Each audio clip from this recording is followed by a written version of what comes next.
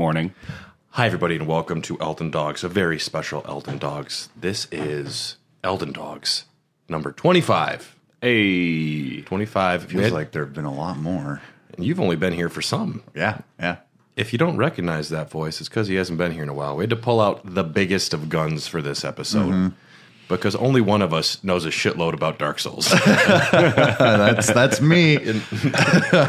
Uh, I am Sir Gideon Ofnir. Uh, we have survived the the whole war, and now we're in the end game. We're talking about our creators today, um, not the Golden Order, not um, the God of Rot, none of the other weirdos.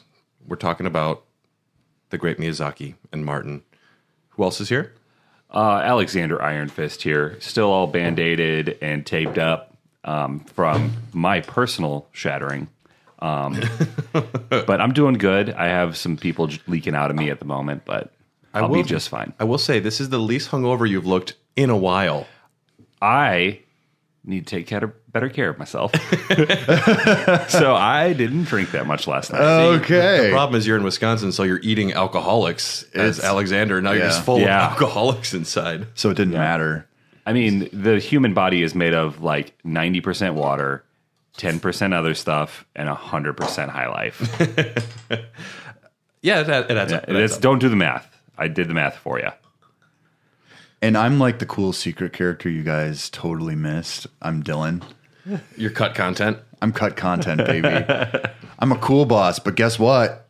It was just too weird for people. People couldn't handle it. No, people just couldn't handle it. Uh, yeah, I'm actually excited to talk about uh, a few creators here. There's nothing I like better than talking about the art itself.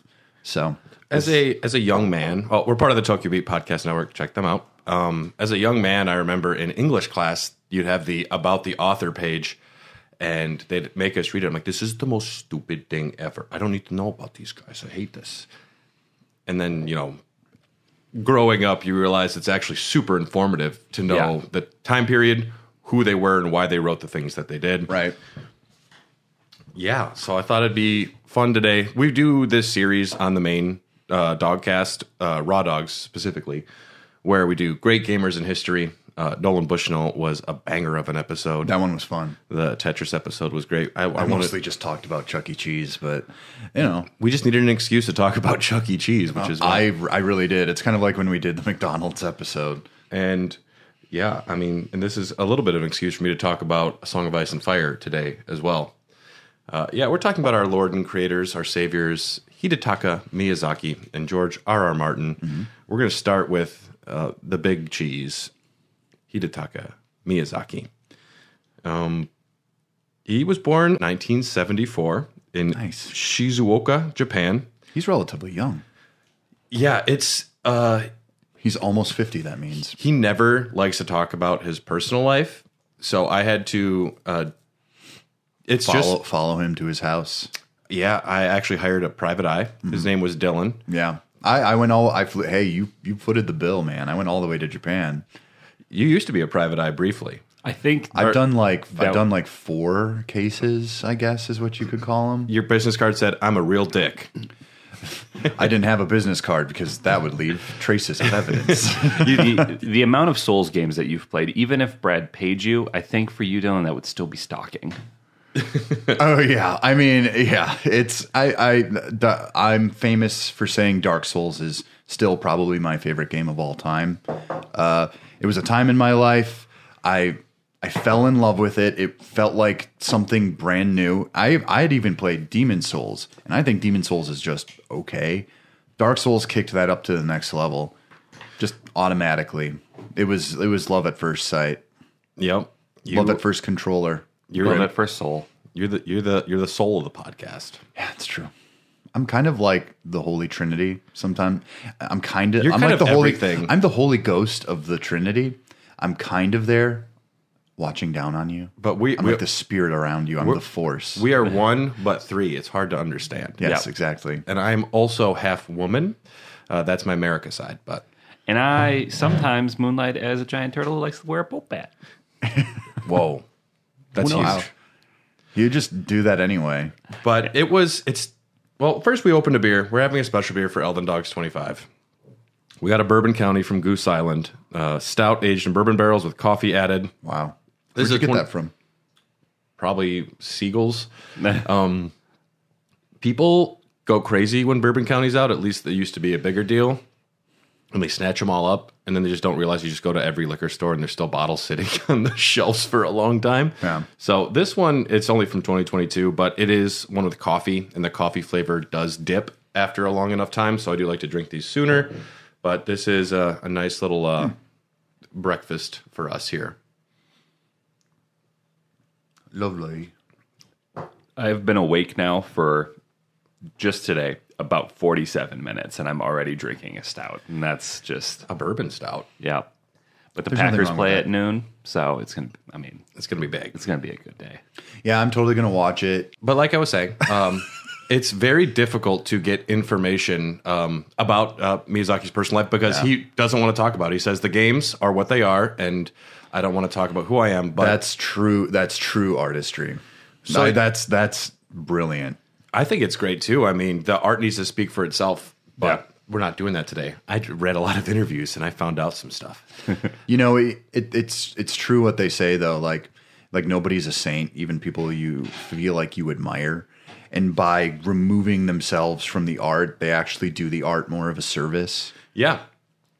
I mean, if there's a preconceived notions, if you found out somebody was, you know, heavily involved in protesting or a certain political ideology, it'll shade your uh, feelings about something before you even see it. Well, there's something to be said Yeah. about public figures doing that. The more you know But- about Zack Snyder, the less you want to watch his movies. it's definitely true. Yeah, and with like more and more stuff coming about that coming out about that 70s show, I, it's, I find it hard to rewatch one of my favorite shows. Won't? Yeah.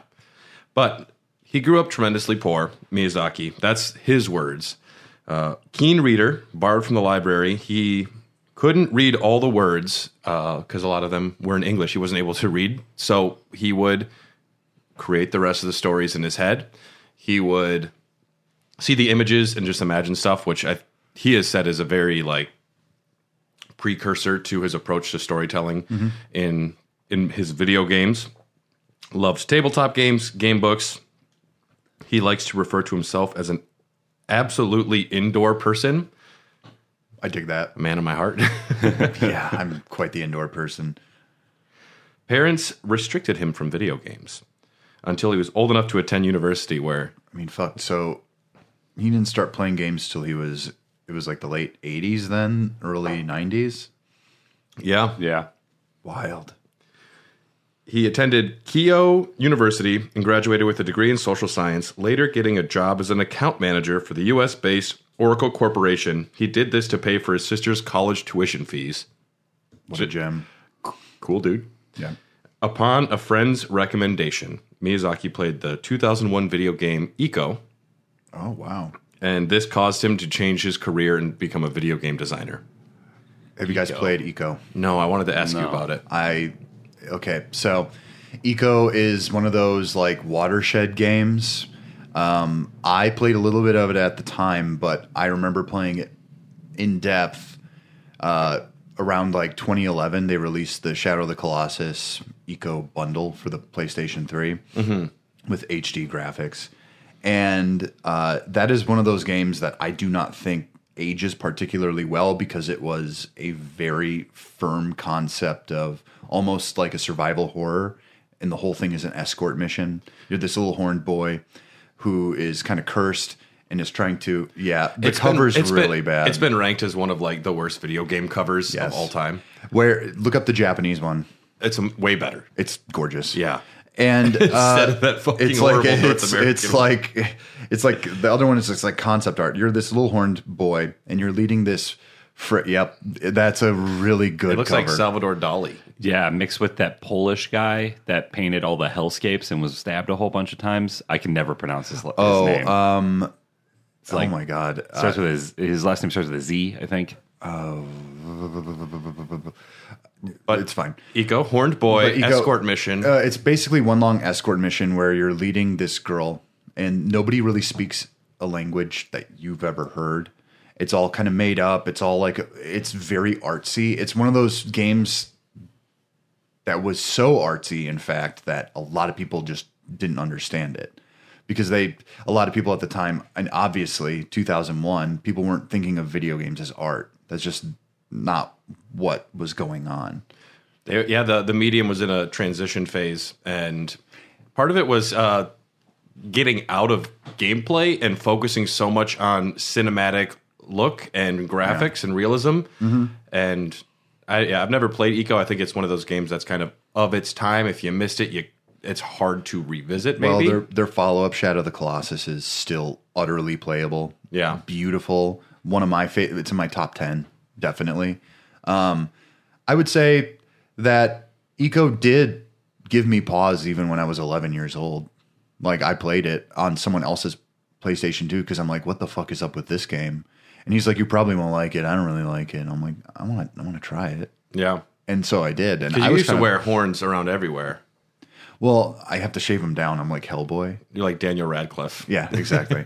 uh, no, it's a. We'll I talk about see- Hellboy later. Actually, I can see how an adult man might actually like witness something like this for the first time and go, "Oh, fuck." Uh, well, to uh, he's 29 years old Uh-huh. and he plays Ico. He's like, I'm changing careers right now. Yeah, And so he's 29 years old, and Miyazaki found out that few video game companies would hire somebody with zero experience making video games. Who would have thought, right? Yeah. But From Software was one of the few that did. So he changed his career. And spoiler warning: within 10 years, he's company president. Almost completely unprecedented in Japan. He he speed he speed ran the corporate ladder. He just fucking crushed it, dude. That's impressive. Ten years. 10 years, he became company president. That's fucking wild. that's that's pretty interesting because it all of his gameplay philosophy is like, yes, everything is hard, everything is difficult, but if you try, you can do it. and he's fucking living proof, man. Yeah, I, I He makes he makes difficult things like climbing a corporate ladder seem easy. He got good.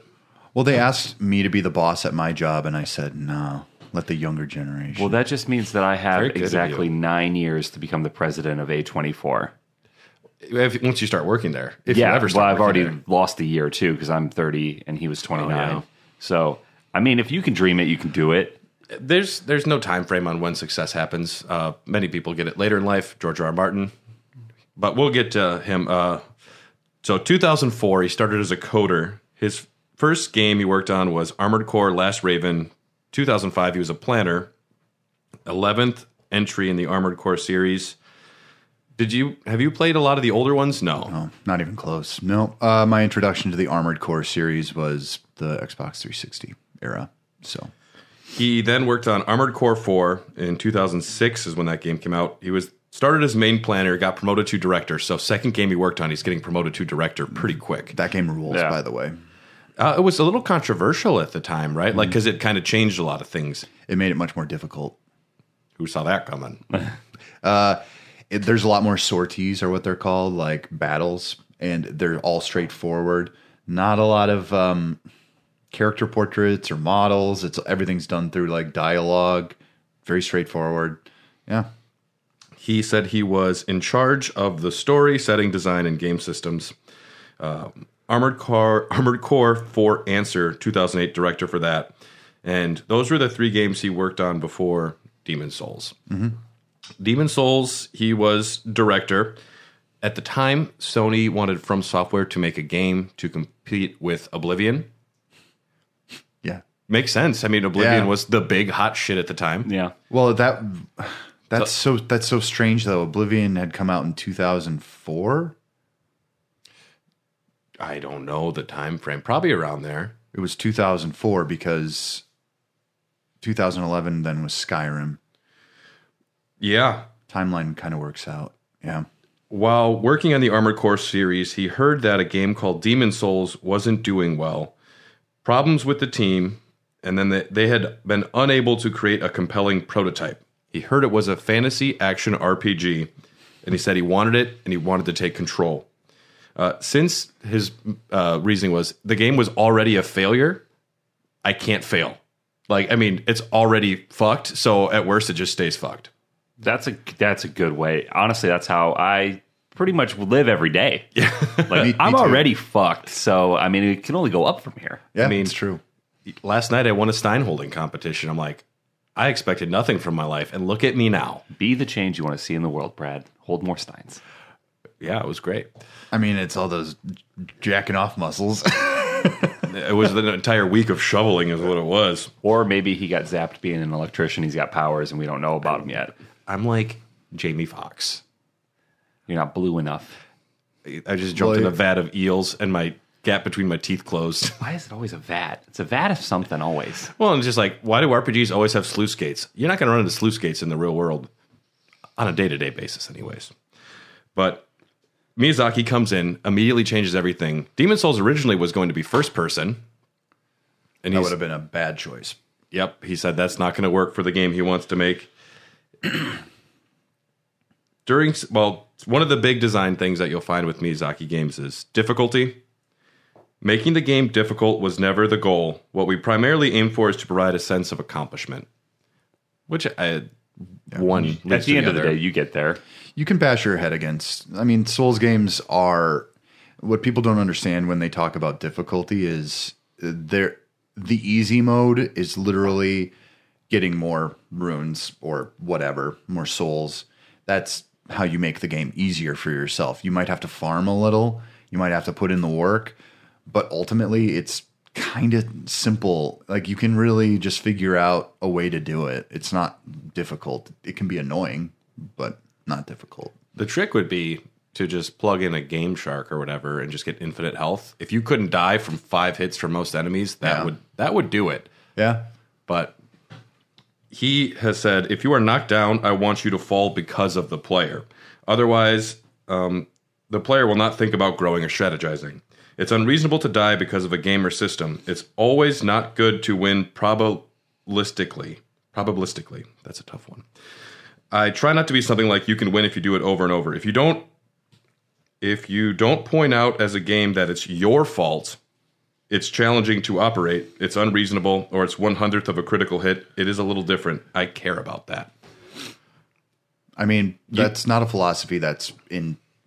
That- It's not a mainstream philosophy by any means. I mean, you can play any fucking game on the market that's mass marketed to people. I mean, fuck. uh, The majority of RPG games that come out now, if you pre-order it or you pay a little extra, they give you a shit ton of starting gear that makes you way OP for the first six, seven hours of the game, If you buy 10 Mountain Dews, you're going to get the armor.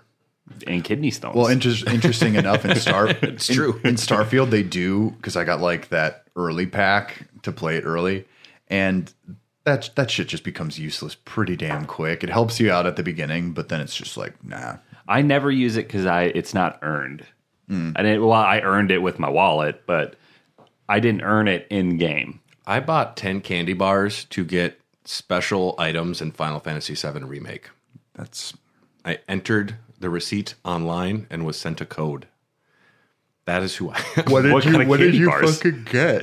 I don't remember. I think it was like a summon or like special armor or bangles or something. But If I'm it like, was I was going to eat candy bars probably at some point anyway, so I just had them in a drawer for a while. if it was ten Snickers, you win win. Then It's a win win. yeah, Plus, you get diabetes. yeah. If it's an almond joy, no, what's that coconut one? Then you lost. Oh boy, what are those called? Bad is what they're called. Well, yeah, that fake coconut really sucks Ugh. ass. Another design aspect that he showed early on open ended storytelling. He most of these are from interviews. Uh, check out Don Don RV. He has a lot of great essays on a website, and he just recently started doing YouTube videos. And he's very new, but big following already. Like the making of Dark Souls is already up to like forty thousand views, and he's a young uh, YouTuber. But Jeez Louise. I want to leave the discovery and interpretation of the world's lore and stories to the players. This is the main reason why I focus on environment and subtle storytelling. Instead of the game automatically telling the story, the players will get more value from it if they discover hints of the plot from items and people they encounter in the world. Yeah. One of the my favorite parts of the Soul style of games. it's it's refreshing because when you first start one of these games, sometimes you get a preamble, and it kind of gives you like the the the core con the core conceit of what the mythology is. Yeah. Or they give you some vague hints of what your character is supposed to be doing, and then they kind of just let you go right. They, they tell you fuck off, do what you need to do. But ins- what they do is instead of uh, giving you um, a big like here is the story and the mission, they give you like ten questions and the mission. Yeah. When you start Elden Ring, they're like the loathsome dung eater. I'm like, what the fuck is Who's this that guy? guy? Hoarah Loux? Like, what are we talking about here? I was like several hours into Elden Ring, and my brother walked in and was like, "What are you playing? Elden Ring? What is it about?" Don't know. Still don't know. Swords. I just kill shit. You start Bloodborne, you know almost nothing. They say almost nothing. You're just like getting a blood transfusion, and then there's these little dudes grabbing Yep. you, and you just wake up, and there's a werewolf. And you're like, what the fuck is happening? they do, I don't. It didn't have a preamble of any sort. Um, I don't believe it even as a narration. It just kind of shows the streets of Yharnam, and then you're getting like a blood transfusion from some guy. You can find a note later on that says you came looking for your blood to be purified. I forget what it was, but no, there's not like you learn very quickly that a plague is spread through Yharnam. Be careful out there. you don't know almost any like where that story goes. I kind of remember that being jarring when I first played it. It, it was uh, clever though. The way it just seemed like we're making a horror game about werewolves and you know beasts, and then it just opens up to no, this is cosmic horror of the biggest kind. Another design element found in Demon Souls: leaving messages for each other in the game world. Uh, you can warn of nearby hazards or trick players to their deaths or fingers and buttholes. Uh, I love that. Uh, social mechanics in a single player game that has since become very popularized. Yeah, uh, because they use you have to use templates. Uh, that's the most interesting part about it. You can't just it, it really gets rid of a lot of problems that a lot of games like this could have had if they just let the player type in whatever they wanted to. Yeah. Because then all you would see was the N word everywhere, pretty much. Yeah. with Mario with Mario Maker, Mario Maker, when you play with those on, your screen just gets covered with like drawings and this horrible shit. yeah. Uh, I like Mario Wonder's approach, which seems like they're. I haven't, you know, we haven't played it yet. This might be out afterwards, but um, the way that you can just see like the ghosts of players and what they did. Wait, when does it come out again? soon. Uh, we're we're recording this the second week of football, um, September sixteenth. Uh, if anyone's listening, but no, you, Wonder has that same mechanic where you can see the ghosts of other players or leave items for people. Which uh, anytime that I mean that's become a thing now because single player games uh, in an online universe. This was one of the progenitors of that idea. Yeah. There's I mean that's that's maybe the most interesting part about it is that there's also lore reasons as to why you're finding all these messages. It's people from other realms or Fits In- in universe. in Dark Souls they say that uh one character states that time is kind of folding in on itself and there are probably multiple yous out there trying to achieve the same thing. It's really kind of dope. Yeah, Yeah, it's very mythological. It's Yeah. it's like a real Ouroboros of storytelling, which I always appreciate. And goddamn, every single game they will find a different conceit on why it's happening in these universes. Yeah. Yep, there's always a bonfire. It's there's always a lighthouse. There's always a, you know, a reason for you to come back to life after you die a thousand times. Miyazaki had the idea for this after his car became trapped in snow on a hill. A group of strangers pushed the vehicle to the top and then they all disappeared soundlessly into the night. He never got to talk to them. It was probably like a quick thank you. And he's like, that left a big impression on him. He's like, who are those people? Where'd they go? Just, it's Midwest is what it is. Yeah. They went to the bar. yeah. Yeah, I mean that's that's the kind of shit you do actually get in the Midwest. uh, he had meetings with Sony to like show where the game was. He made sure to purposely not talk about the difficulty and kind of bury it in the presentation behind everything else. Uh, he was he feared they would remove it. Disastrous reception at the Tokyo Game Show a few months before release. Many players didn't make it past the character creation screen. Uh, also at the Tokyo Game Show were games such as Halo 3, Prince of Persia, and Bayonetta. Some big like prestige titles that would leave a big mark and demon souls just like no fuck you. This game is not the prettiest it's just the the most challenging. Well, Bayonetta wasn't the hit it- it was going to be at the time. Even early on, people did think it looked dumb because they didn't understand like the thesis of it, how it's supposed to be like just kind of a really weird dumb action movie with a sexy witch. It's really all it is. Sign me up. And she has guns everywhere. Sign me up. guns again. everywhere Yeah, pretty much. And she become she can become she can she can become a train. See, I didn't know I needed that in my life until like what was it earlier this year? But you wouldn't even believe what happened to me and Dylan yesterday. We were at Bayview Bash, and a furry gave us beans. I still have it. And- Okay, so I did. Wait, no, we don't- that, see. This is one of those things. If we explain it more, the mystery goes away, like in Dark Souls. I'd rather you not know who this furry was and why they gave us beans or what these beans do. but he's digging through his pockets. He might have beans. Yesterday was peculiar. Something weird was going on. I was really hungover at a gas station getting some Pedialyte, and I looked up, and the fucking mystery, the mystery machine drove by. So this With bean, we do in it. this bean is a key item. Um, it mm-hmm. says given mm-hmm. to Dylan by a mysterious furry. Yeah. Its meaning is unknown and its purpose is clouded in mystery. It was a It's very colorful. smiling at me though. the bean is smiling at you is the last mm-hmm. thing that it says.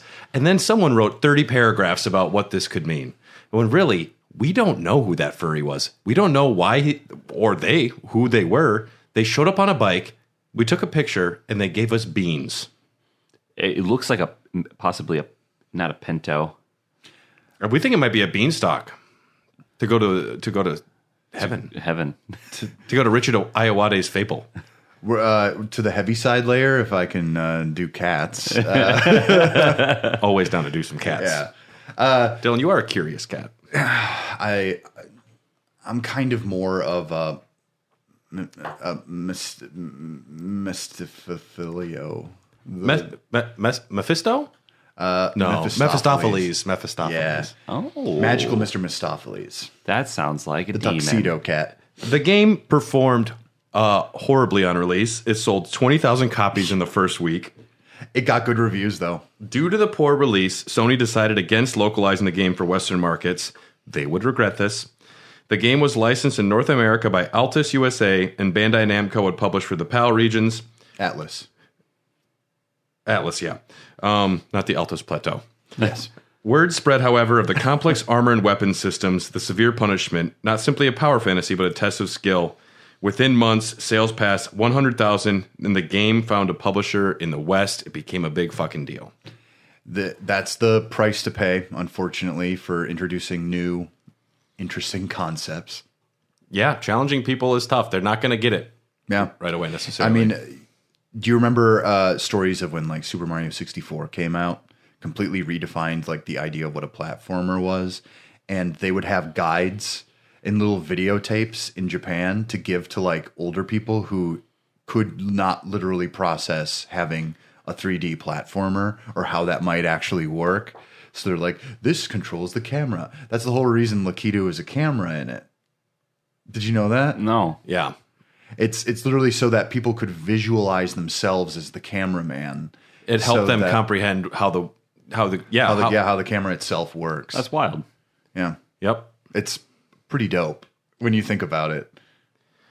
Uh, speaking on the design process, he has this is him describing what his design process was in his early career. Uh, two main categories. One is providing designers with simple keywords that they would brainstorm during the early stages and allow them to design freely. Uh, test the images and provide feedback. He says, If I didn't receive the results I expected, I began giving more specific descriptions and might even start drawing things on a whiteboard. But even then, I would never go as far as to say it has to be this color or this shape. I do not intend for the designers to become my tools. Things don't always go as I want, but I believe that's probably due to me not getting the most out of the artists. This is one of the things I want to get better at in the future. Can he be my fucking boss?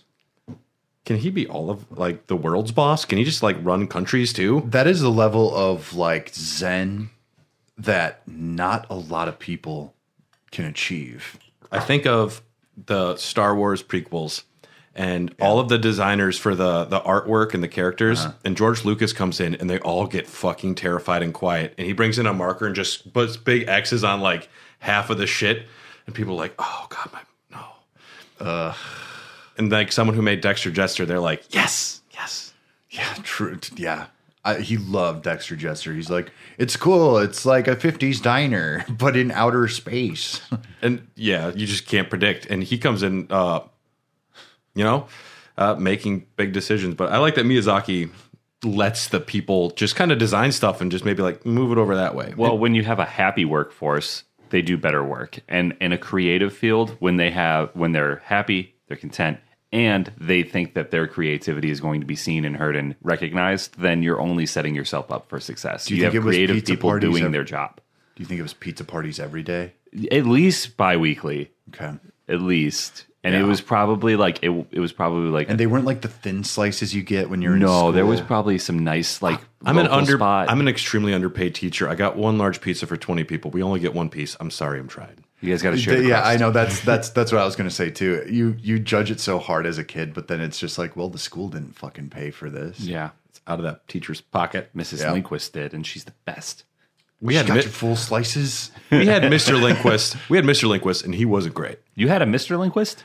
Uh, we made a feature film when we were in high school. It was really bad, but we played at the theater. And he was he gave actually the best review. He was like, it made no sense, and I hated it. I'm like, yeah, it didn't make sense, and I appreciate your honesty. Everyone That's else like it was great.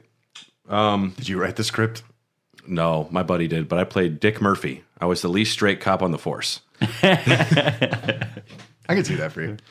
And the other part of the design process, once basic details are settled, make more detailed design requests, how something will be used, where it will be used, and specific purpose and representation of the game.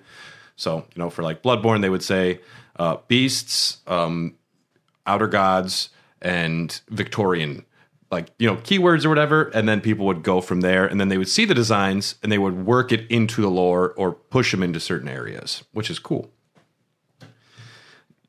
Demon Souls um, wasn't still like a major hit, but it was the cult hit in growing steam. It uh it got reviewed very well in Game Informer, and that actually kind of changed my mind about getting it. Mm-hmm. Because I got it like the year and a half after its release in 2009, and I was just like, well, I got to try this fucking shit out. I was bored one summer, and I'm like, just a meaty RPG. Let's just do it. Just meaty. because I wanted to play Dark Souls itself because that got like 10 out of 10s in a lot of places. But I was like, I should start from the beginning. So I did. Yeah. Dark Souls Yep. came out 2011. He was director and producer. Bandai Namco Same is. day as Skyrim. Did it come out same day as Skyrim? I Skyrim? believe it came out the same day as Skyrim. That's some big dick energy right there. That is. It- or very close. I don't quite recall. Uh, Bandai Namco is the partner. Since they added for him, they're like, all right, we're with you. Sorry, Sony. Yeah. How uh, ex- how exclusive was Dark Souls when it came out to PS PS3? Was what it originally came out on? Correct? In PC, yeah. Was it on Xbox? I, I think so, yeah. okay, yeah, because Because because when you port it to the West, it's got to be you have to need you need the most proliferation possible. Yeah. and it a lot more people had 360s. So couldn't call it Demon Souls because the IP belonged to Sony. great. Was tentatively okay. We'll talk about you know the titles that it was almost called Uh, I used to. was tentatively called Dark Race, as they were a race of cursed people known as the Dark Race. It was changed for some obvious reasons. Yeah. Uh, this was brought up two days before the Tokyo Game Show, which is why the game ended up being announced with the placeholder title of Project Dark. They then considered Dark Lord or Dark Ring. They settled on Dark Ring because they found out. Uh, no, they, they settled on not using Dark Ring because they found it as slang for anus in England. I was gonna say Yeah. that sounds just like a butthole. I call them rusty sheriff's badges. So they but- almost called it Dark Race and Anus, yeah. which actually, uh, I'm fine with either of those titles. Yeah. I, I still would have played it probably. Uh, one thing that he began Miyazaki began being known for around this time was acting out performances to explain characters and like uh, enemy specific movements and Oh. things for cutscenes. He would act them out I like that. That's cool. On design with maps. You ever seen the gaping demon or the gaping dragon? I'm just picturing. Can you just look up the gaping dragon? I'll look it up. Yeah, Tyler, look up Gaping Uh, Dragon. Okay. um, put Dark Souls Gaping Dragon. I don't know what else and you'll if you find watch in it, there. I'm just picturing him doing the movements of the gaping dragon. yeah, It's basically a dragon where its entire chest opens up. Yeah. just squatting and, and he just he basically just pulls a Zoidberg a little bit. Pretty much, yeah. why not runs- Gaping Dragon? Yeah, you fi- that's the big boss of the uh the sewer area. that thing looks gross. That thing's huge. It's That one of the thing- biggest bosses in Dark Souls. I It think. looks The photos kind of gave me a little bit of goosebumps. That thing looks real gross.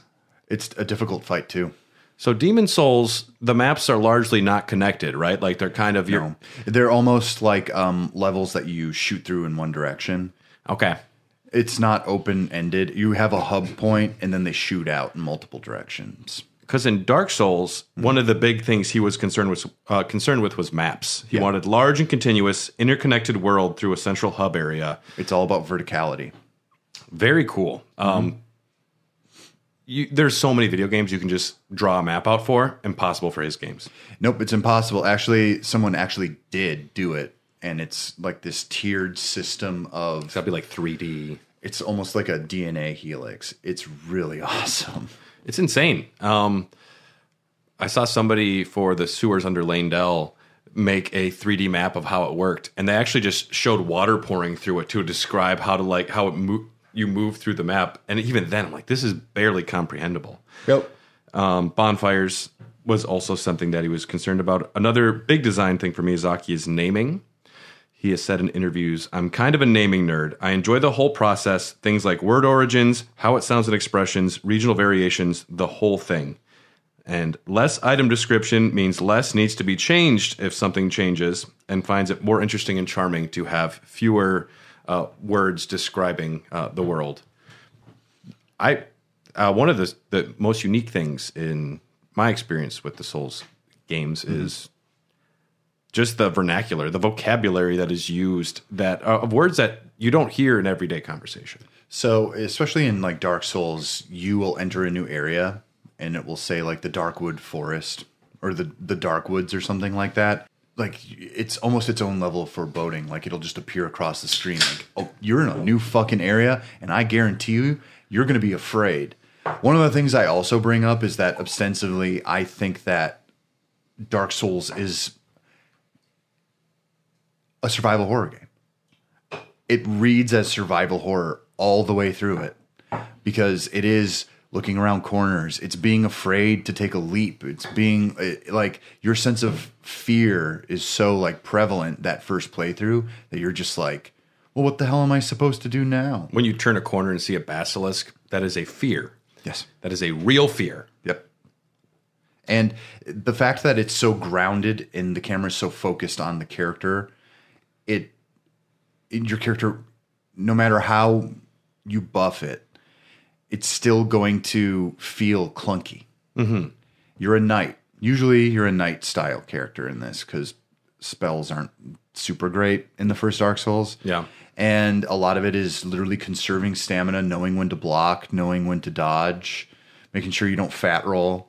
I've I've loved explaining that to people. The fact that I, I mean, I played Elden Ring for a good while before you said, "Oh, you heavy roll." I was like, "What do you mean?" Yeah, then you you drop or you lighten your load. You're like, I am a leaf in the wind. Mm-hmm. I get more iframes. Yep, you definitely do. I, I mean, and iframes is something that I don't know how popular it was back in the day. It was a concept that I found unfamiliar in most games for a long time. But now I, People I play Shredder's Revenge Turtles. So I was playing that last night. Iframes when you dodge. Mm-hmm. If games don't have iframes when I dodge now, I find it untenable. Yeah, if you can still get caught. Uh, see, I kind of like it because if you're rolling towards the enemy, there should be no eye. Like iframes should literally be like you dodge backwards, dodge to the side. Yeah, But there's got to be like a full 180 where you can still get hit. yeah, You know what I mean? sure. It's it's a little more realistic that way, I guess. Yeah, that just makes sense. Because if you roll into your enemy and the enemy's swinging down a hammer, you don't get to just survive that. no, it doesn't count because I was running towards you. the hammer part didn't hit me; it was just the hilt. This game's broken. I fucking hate it, dude. This game sucks. I want to play Kingdom Hearts where there's no penalty. I, w- I was talking to someone when I when we were first playing the game, and they were just like, "Man, this fucking blows.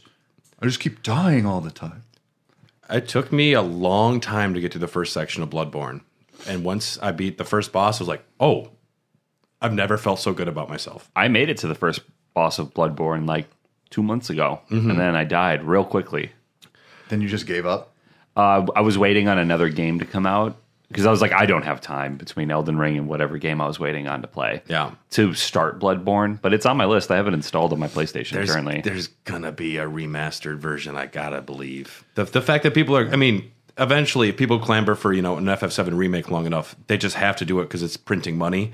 And the fact that they could remaster Bloodborne and print money, I do want a just a 60 frames per second HD remaster. I don't want a remake.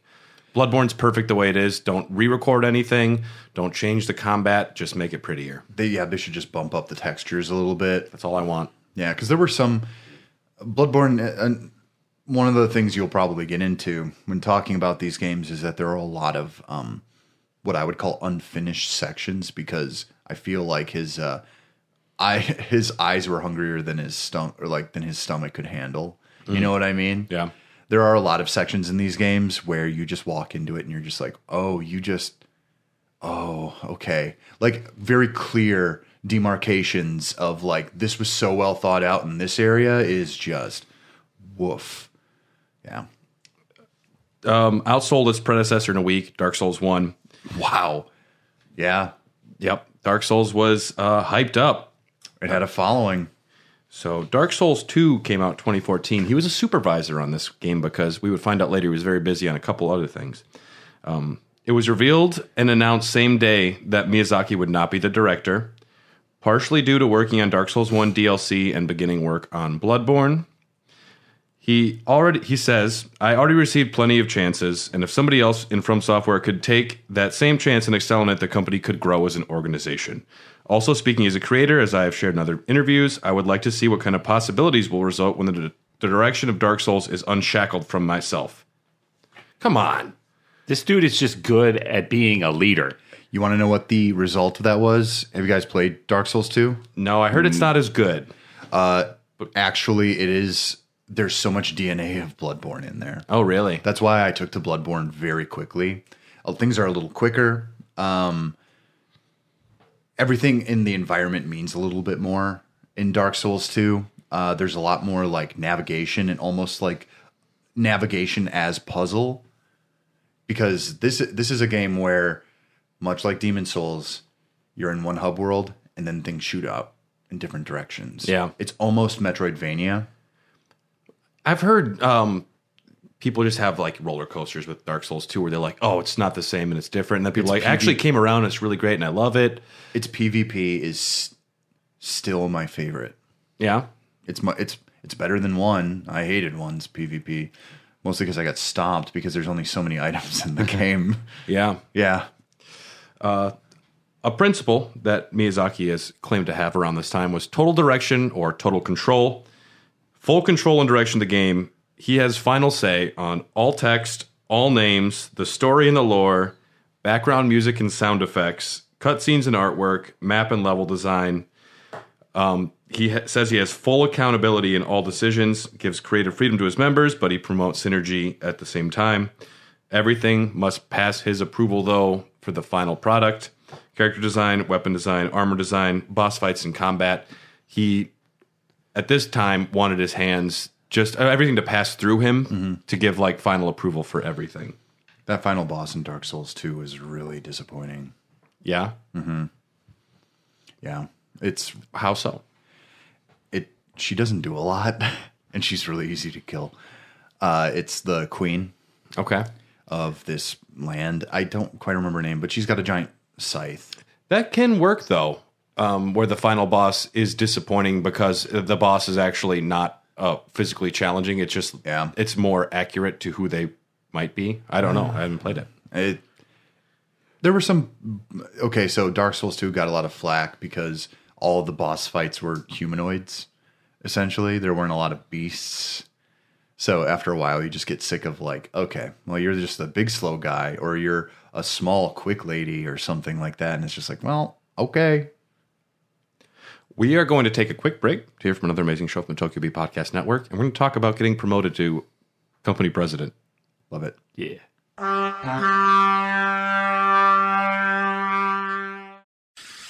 Spaceships, magic swords, intergalactic empires, dead gods, and creatures from beyond the moon. What mad universe could contain all these fantastic visions? What Mad Universe is a bi weekly podcast. Delving into the misty origins of sci fi and fantasy, pop culture and genre tropes. Take a cosmic trip on What Mad Universe podcast. Now on the Tokyo Beat Podcast Network.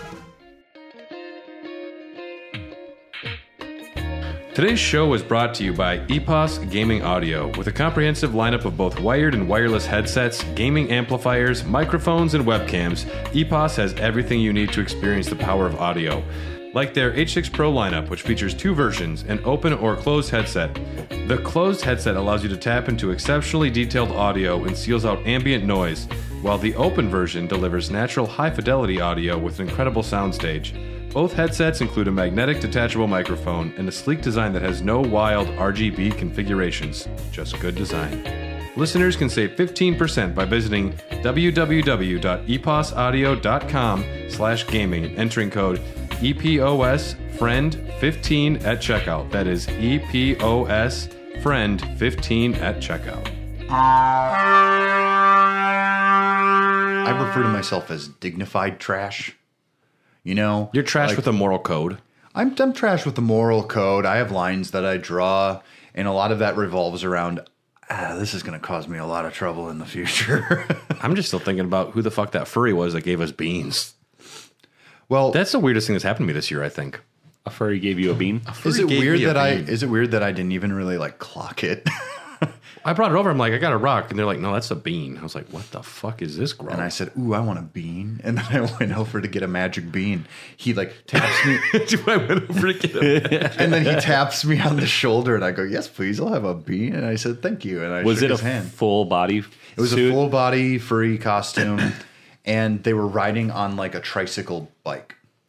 That makes it. You didn't mention the tricycle bike. Yeah, it was kind That of makes like, it even more special. And he, it was he was donned in like oh wait, there's a picture of us with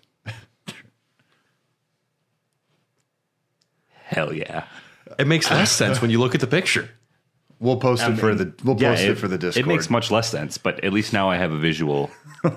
Why the, can they see out of these fake glasses on top of their furry suit?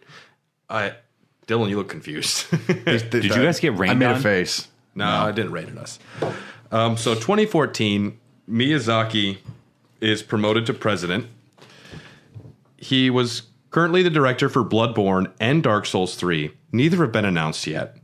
And they're like, You want to be president? Meanwhile, he's directing two games. His condition was that he would still be able to remain actively involved in game development. Uh, quotations I am a game director serving as a company president and not the other way around. Fortunately for those around me, they understand my position on this matter. As the new president of From Software, I am planning to initiate several, several new projects. I can't really say exactly what they are. These could be something like sci fi, but you would have to stay tuned for more info about this in the future. I've heard I've heard tell stories of him trying to develop a sci-fi concept. Sounds cool. Uh, Yeah, uh, apparently it just he he got stuck on the idea of guns and gunplay, and th- these are from like insiders that I've read on like Reddit because Reddit does what Reddit does. I wish I could find the, the groups of it. Bloodborne wound up using guns, and they had to do it in a way that just like Completely nerfed them, but they they're they're for parrying primarily. yeah, and they're catching people off guard. Really, Yeah. Yeah. Uh, they had to like really lower the power.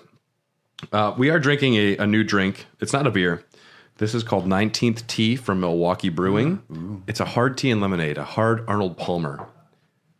Amazingly great. It's a perfect after work drink after a long day. Or after 18 this holes. is fucking good. Eagle Park bought Milwaukee Brewing, and this is one of their new products, and I'm just a big fan. Me too. Uh, Miyazaki said, Well, honestly, I think I'm probably neglecting a, a big number of my presidential duties. Or you could say that everyone around me is indulging me on that front. If we put it in percentages, I probably am about 20% doing president stuff, 80% doing game design stuff. 100% doing dope shit. I'll, t- I'll tell you what. This sounds like that. he also sounds like a man who knows how to delegate properly, which is one of the which is the most important part of any leadership position. Yeah. is whether or not you're giving people too much or too little, or you're letting them kind of do what their expertise is. Let them take over what they can take over and take it off Yeah. of your plate so you can do what you need to do. Well, at the, and at this point, he's kind of a. At this point in the company, he had to have sort of become this kind of hero. Like he saved a very small, struggling developer that made very niche games and made those niche games popular with an audience that probably wouldn't have gone in that direction if there wasn't like a proper amount of buzz. Sorry. Hiccups. Yeah. Um, started assigning co-directors to projects to assign with all design aspects. Um, Bloodborne came out in 2015. Brad, I think I heard you like this game. I'm a little bit into Bloodborne. yeah, I heard you might have played it. I might have gotten a bunch of tattoos. Uh, August 2012, Mean a whole Sony. calf. Yeah, my whole lower right pant. Uh, Sony Computer Entertainment approached From Software about cooperative development on a new title. Yo, we're really sorry. We kind of fucked up Demon Souls. Can we do anything? We'll do anything to get you back. And Miyazaki said, How about the possibility of developing a game for eighth generation consoles? And Bloodborne started there. Victorian, arcane technology, Bram Stoker esque nightmares. Miyazaki took the team and visited Romania and the Czech Republic. He has said it carries the DNA of Demon Souls. Uh, quotations. The game's mechanics or the gothic gothic theme, for example, were some ideas or concepts that were always brewing for me, and among those that I always wanted to achieve in my career. So when the trigger was pulled, I knew that was this was it. From the start of the project, the main premise was to create a serious game for people who like games. On top of that, we have several themes throughout the various player layers of the game. The three major ones are exploring the unknown, the feeling of fighting for one's life, and the new online elements. He personally laid out all the maps in Bloodborne, stories purposely open and not explained in parts, co authored the narrative, and no shield to hide behind. Guns were a tough decision, he said. Yeah. Uh, I think this put a lot of people out of their comfort zones. There aren't nearly as many weapons in this game. Really not. No, it's and I remember being disappointed by that.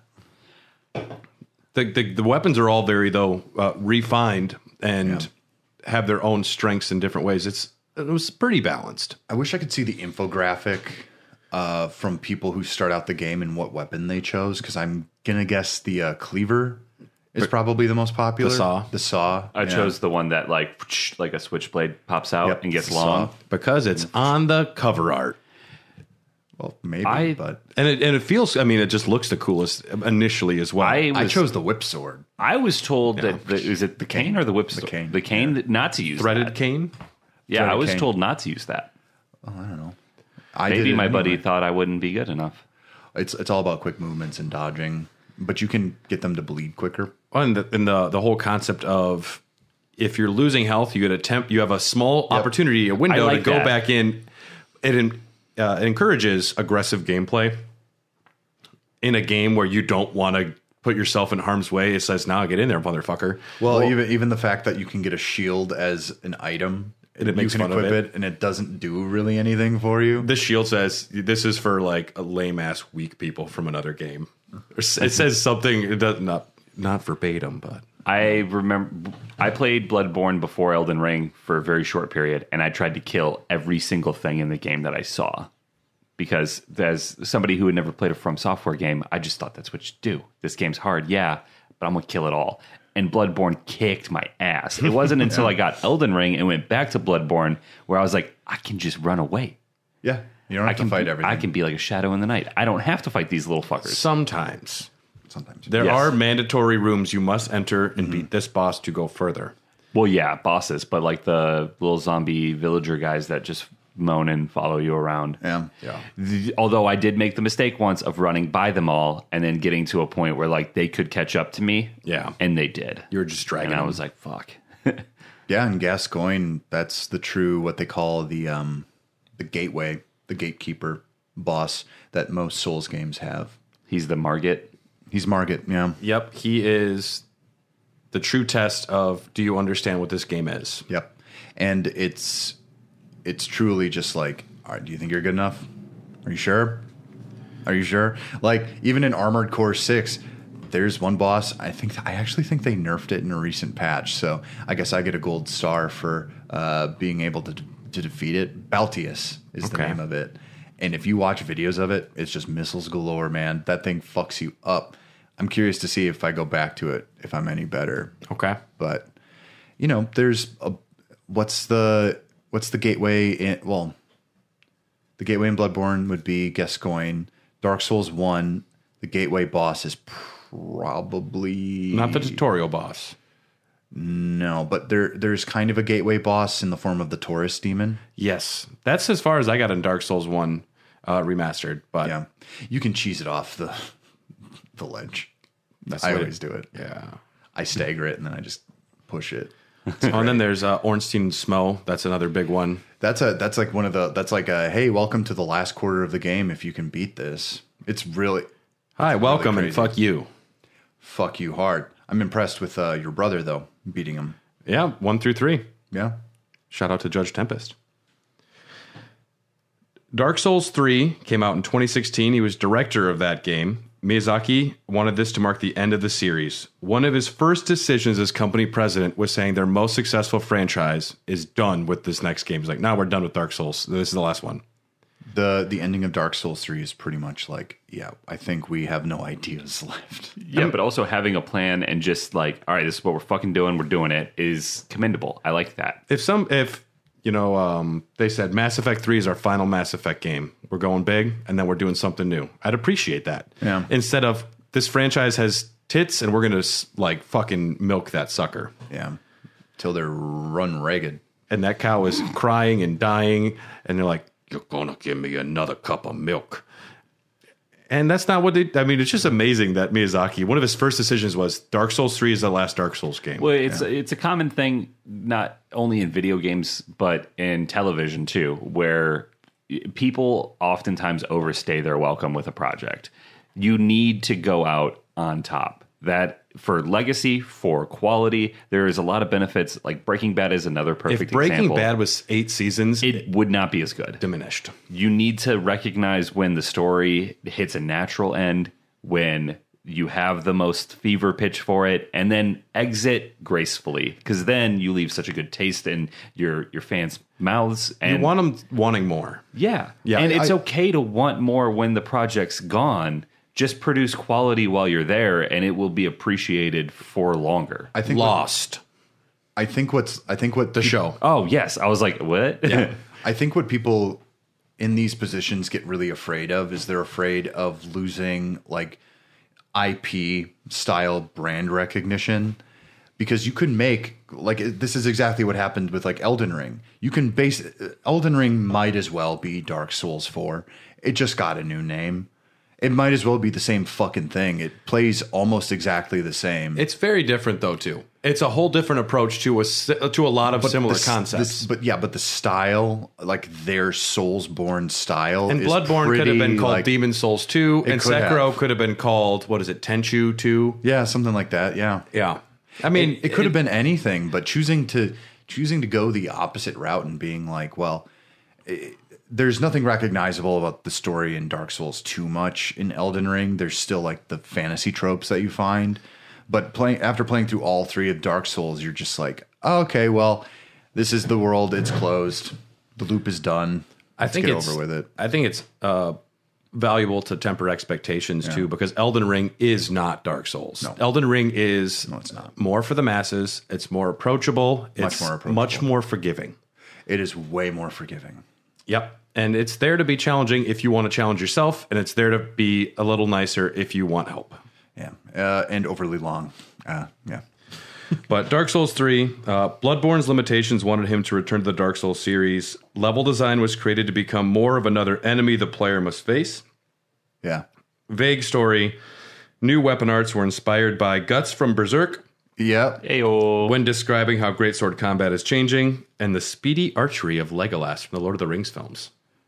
Archery still sucks in Dark Souls 3. Said he was inspired by Legolas, though.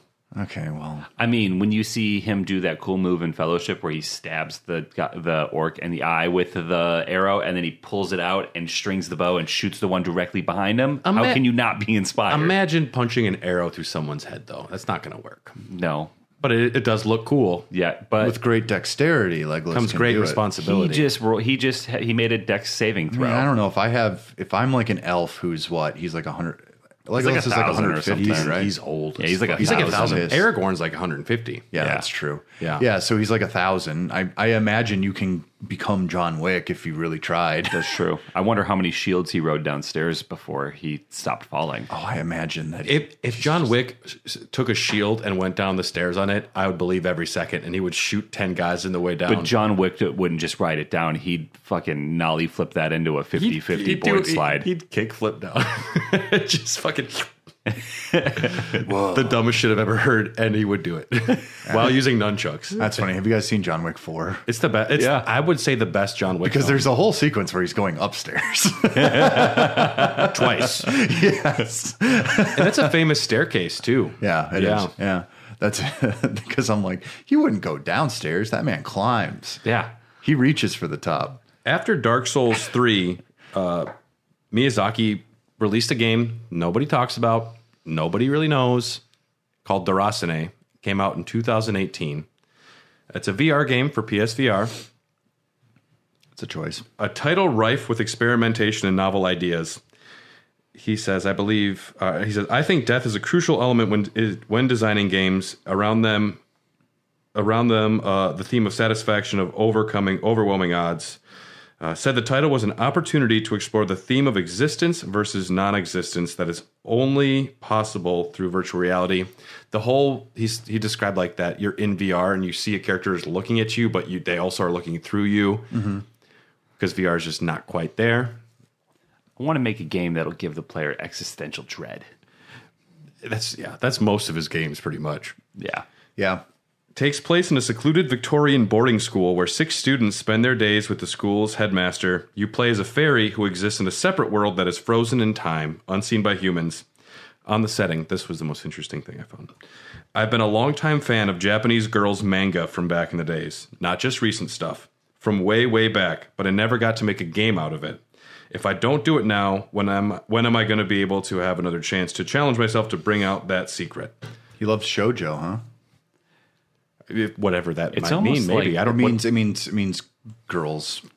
It means girls manga, like shojo manga. There's shonen and shojo. Okay. uh, and they're all very flowery. They usually involve some sort of either like magical paranormal conceit or it's just Is- straight up drama. Is Elfen Lied a girl manga? No, Because I love Elfen- me. Elfen- I love me some Elfen Lied. Elfin Lead is uh, I don't know how to pronounce the title. it's Apparently, fine. No, it's okay. Uh, Elfin Lead is very um not. okay. it's what you would call seinen, which means like like elder. It it it, it is ostensibly for older audiences. Yeah, I mean it's a very mature subject yeah, matter. It's really scary too. So this was his girls manga game that he kind of wanted to make. It's about fairies. It's still got some dark elements. Uh, Forgotten City. They delved too deep into the science of fairies and accidentally destroyed the city. There's a lot of like bigger concepts that he always likes to deal with, but Yeah. it's based on a small story about children. he also said he didn't know when he would be able to make this game, if ever. Did he forget he's president? But he could literally do it whenever. But juggling it between other projects and obligations. true. Yeah. That's probably what he meant. Mixed reviews, basically flopped. Uh-huh. I've played some of it and it did not stick with me. No, I- No. it's fine. You know, sometimes you, sometimes you make that weird kind of. He just wanted to. I think he just really wanted to fuck around with the VR engine. Yeah, they. I'm sure PlayStation came and said we're going to give you a lot of money. Yeah. and you could do a smaller team for that. Yeah, Yeah. Yeah, he was obsessed with how the the school was laid out, uh, much like level design, the way you explore it. Makes sense. 2019, Sekiro: Shadows Die Twice. He was director. Uh, the whole plot and overall story is his, but left most of the actual writing to the staff. He relinquished a lot of uh, narrative control. there wasn't much of a story to be told, but quotations. Uh, so when you say Japanese inspired, you can typically go in one of two main directions. One's samurai and one's ninja.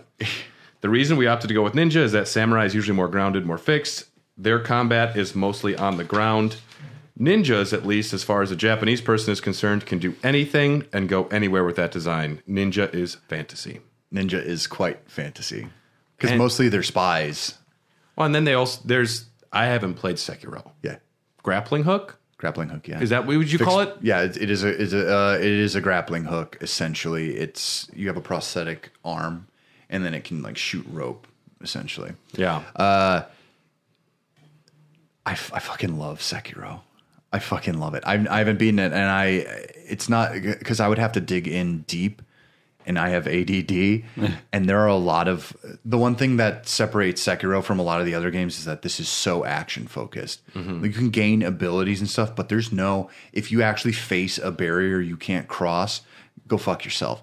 It's essentially learn how to do it or you're done mm-hmm. because your currency you much like the other games you get souls or whatever but you can only spend those to either get uh, upgrades weapons and Not stats. that doesn't right and it doesn't guarantee that it's going to help you it might help you in a way but it's kind of like you know different tools for different jobs and there's ways to cheese bosses but i won't get into that Tenchu, uh, quotations, Tenchu was the original inspiration for this game. We originally thought of placing it under the Tenchu series when we began the project, but gave up after that pretty quickly. Tenchu has been created by a very different group of people, and we felt it wouldn't be we wouldn't be able to create it anything but an imitation of Tenchu if we were aiming for it. yeah You rank Sekiro pretty high, don't you? it might be my favorite Above Dark Souls. yeah playability wise Yeah. Uh, So when I say that, I'm talking about form and function. Mm-hmm. How like I kind of praise how clean a game is. Do you do you guys kind of know what I'm saying about that? Cleanliness in a game is kind of like if you break it down to its bare bone bones and core core concepts.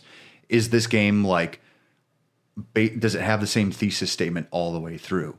And Dark Souls can kind of lose the plot a little bit. It can kind of veer off. It can be different and that's something I love about it as well. But with Sekiro, it you kind of you understand what you're in for the moment you start the game, and if you don't like it, it's fine. But if you're down to clown, go for it. I need to play Sekiro. It's beautiful. It's honestly like it's a game that you will appreciate as a Bloodborne Bloodborne player. Bloodborne. Bloodborne. Bloodborne. This game is mostly like parrying and deflecting and moving in for kills and getting a few swipes in before dodging and running away. It's really great. So we're not going to jump into Elden Ring until we talk about Martin, which we might not do today. We'll figure out the timing. Uh, we don't want to miss any Packers, correct? Yes. Or is that okay to miss Packers? I mean, it's okay to miss little Packers. Okay. As president, um, Miyazaki says he meets other presidents and thinks they are just so weird. He uses them as enemies sometimes. Really? yep. I like that. It's just like with their sensibilities. He's just there thinking about uh, the Sengoku period of Japan history and how it influences his armor design. And this guy's like, the money in this, uh, the quarter. He's like, who the fuck are you? Man, I hate tools, dude. In the I hate public, the man. in the public, you know what I'm talking about. Yeah. Hell yeah, brother. yeah. Fuck the Oh, man. Yeah, high fives all around. Hi, Barbie. In in the public eye, refuses to pe- appear on film. Will meet fans, but he never likes to talk about his own life. Smart. A- As director, usually writes the majority of the story, dialogue, and text, having the final say. Calls himself a micromanager. We've described a lot of what uh, his values are. Yeah. Personal life, he does have a daughter, and he says he doesn't want to let his family play his games because I feel like they they'll see a bad part of him that's almost unsavory. I don't know. I'd feel embarrassed, so I say no Dark Souls in my house. That kind of rules. There's nothing better than If an I heard- artist who is self-loathing. Well, imagine if my dad listened to Hair of the Dog cast, I'd be like, "Oh God, My mom has listened. She's My mom like, I don't does understand it. your mom's on Patreon." Yeah. Games that Miyazaki has expressed liking. I just got a list here: Dragon Quest, Legend of Zelda, King's Field, Civilization, Hey. Ico, Shadow of the Colossus, mm-hmm. Breath of the Wild, Yep. Skyrim, Oblivion, Hearthstone, Uncharted, Okay. Left 4 Dead, Okay. Metal Gear Solid 5, Evolve, and Magic the Gathering Online. And Madden 2021. It's Big- like, why is that in there? The lore. It's the lore. it's the lore. Uh, manga he likes Berserk, My favorite, Saint Seiya, Saint Seiya. Seiya, JoJo's Bizarre Adventure, Yeah. Devilman, Devilman's good. Basilisk, I've never read that one. Record of Lodoss War, The Record of Lodoss War. Yeah. Okay. and literature he has expressed liking H.P. Lovecraft, mm-hmm. Bram Stoker, It's all making sense. and George R. R. Martin. Ooh. Now, George R. R. Martin, we won't talk about as much. Yeah. There's a, the literature is a lot, but what we're going to talk about his personal life quite a bit. That was a hell of a segue right there. George R. R. Martin was born George Raymond Martin, September 20th, 1948. That scares the fuck out of me that that's 1948. That is three years after World War II. 1948. And he has to finish two books. I'm sorry, George. If you're listening, I fucking love you. I just really want to know what happened. That is a long fucking time ago. He was born in Bayonne, Bayonne, New Jersey, uh, son of a longshoreman. Mother was once a part of a wealthy family that lost it all during the Great Depression. He was reminded of this every day. They were living in the projects, and he would walk by the, the, the dock that they used to own. So he has said that he felt like he was part of a, a bigger family that had a reason to rise again it's uh, the deposed, you know, Daenerys Targaryen feeling like I, I deserve, I'm worthy of something better than this. Two sisters, Darlene and Janet. Family couldn't afford travel or much of anything, so he became a voracious reader. Escapism. Yep.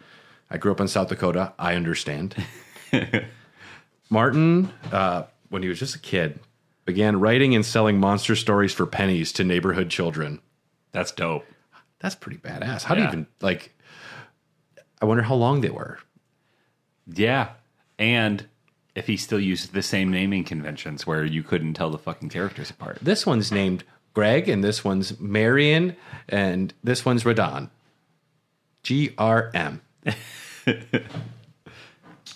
he, yeah, so he was selling these penny stories, penny monster stories to neighborhood children. He had to stop when a mother complained about her children having nightmares about him. Hell yeah. Hell yeah. Get it, George. So he was already causing children nightmares when he was a kid. He used to have a lot of pet turtles. And he would write stories about them, their mythical kingdom. When one would die from being a turtle, he would just say that it was a, a big plot from the other turtles, and he would write whole stories around how they like fucking Night of Black Knives the other turtle. That is heavy metal. This was before the age of 13. Um, at the age of 13, he adopted the confirmation name of Richard. That's when he became George R. R. Martin instead of just George R. Martin. I don't know if he was just a big Tolkien fan at the time. Maybe he wanted another R. In So his I name. can include my fucking Catholic name, What's your Catholic name? Thomas. What's So your I'm middle name? What, Dylan Patrick Thomas Hoff. Then. What is a Catholic name? I don't Uh, know. when I- you're when you're confirmed into the church, They give you another name? they let you choose your name. I went with Rothgar, the Destroyer. Hmm. No, I don't know. I didn't get one, You got confirmed into the Catholic Church, but I didn't right? get another name. Oh, they mine was like German Catholic. It might be a different thing, but mine might be more Holy Roman based. You're supposed to gain, so that's like how that's how like people ascend to like the papacy and shit like that. So No shit. I didn't know that. Yeah. So that's when he became George R. R. Martin. He went to a heavily Catholic school. He said that he is a huge fan of comic books. He has credited Stan Lee as one of his major influences. In quotations, he writes better though. in quotations, maybe Stan Lee is the greatest literary influence on me, even more than Shakespeare or Tolkien. George R. R. Martin attended the first Comic Con in New York City in 1964. He used to write into the uh, so like there was like the Marvel like newsletter at the end of each issue. Yep. and they would print shit, and he's published in like one issue of the Fantastic Four. It's really cool. old school. He was, Oh. yeah, he's been a writer since he was a child. It's really impressive.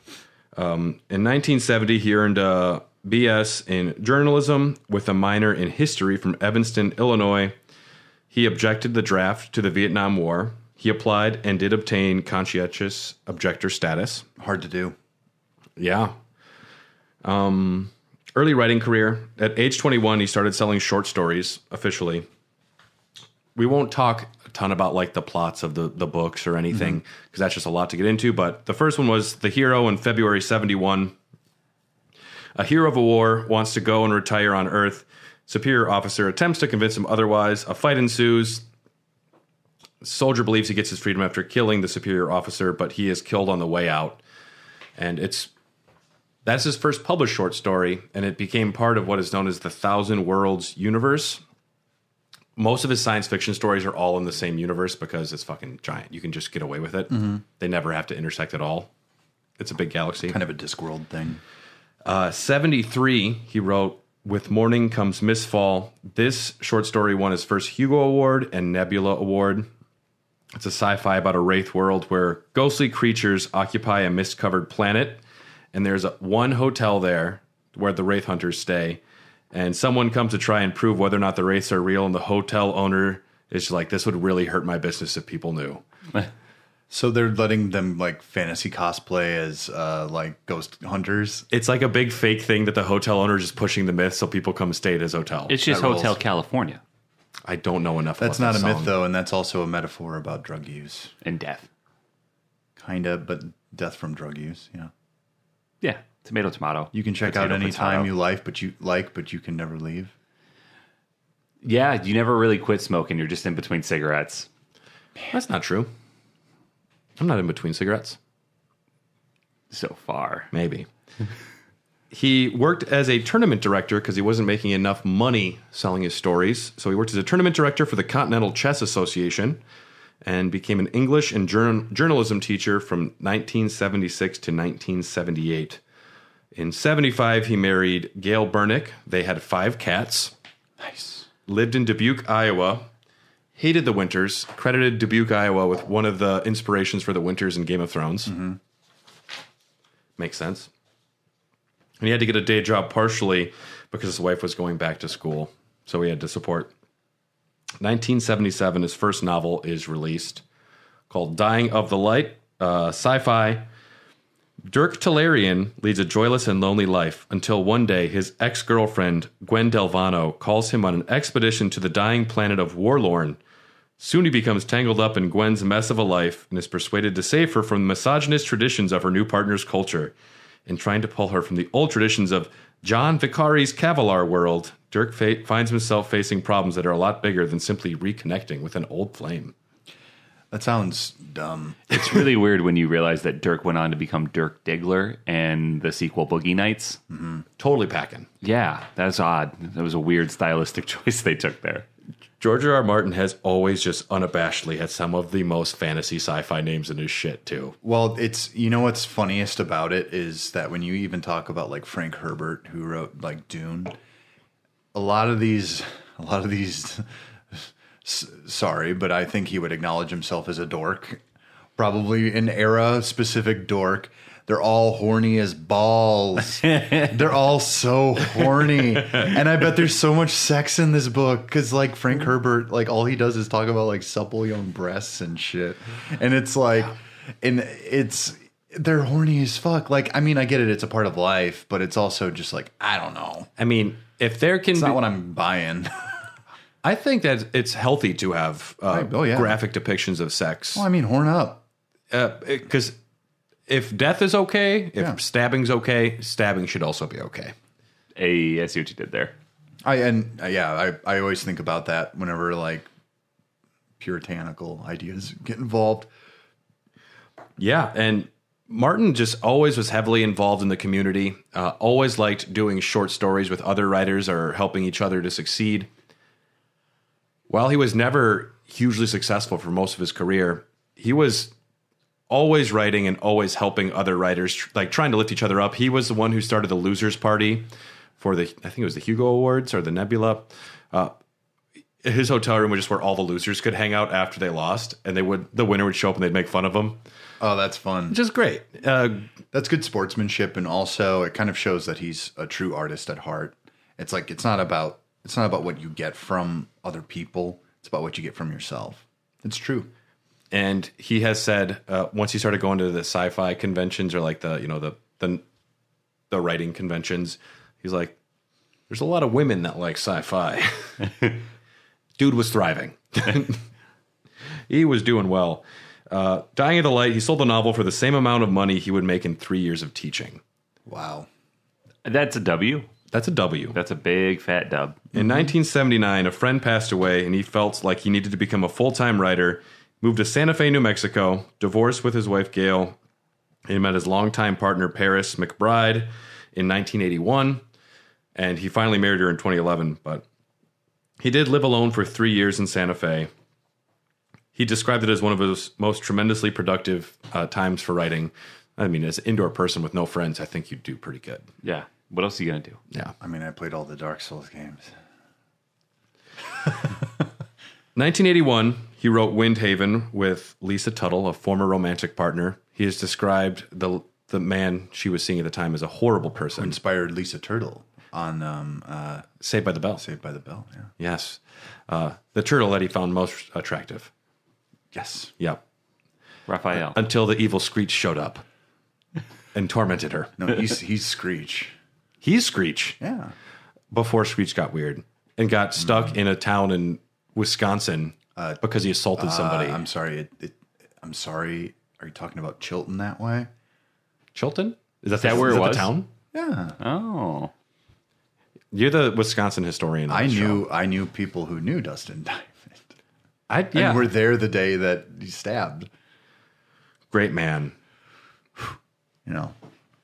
But he wrote Windhaven with a former romantic partner. These are three novellas, all taking place on the fictional planet of Windhaven. Inhabitants are descendants of human space voyagers who crash landed on Windhaven centuries before the book takes place. A caste system has evolved for those that fly gliders between the pockets of civilization. The world building has consistently been one of the most interesting parts of Martin's writings. Mm-hmm. Like even the Dirk t'Larien Dying of the Light.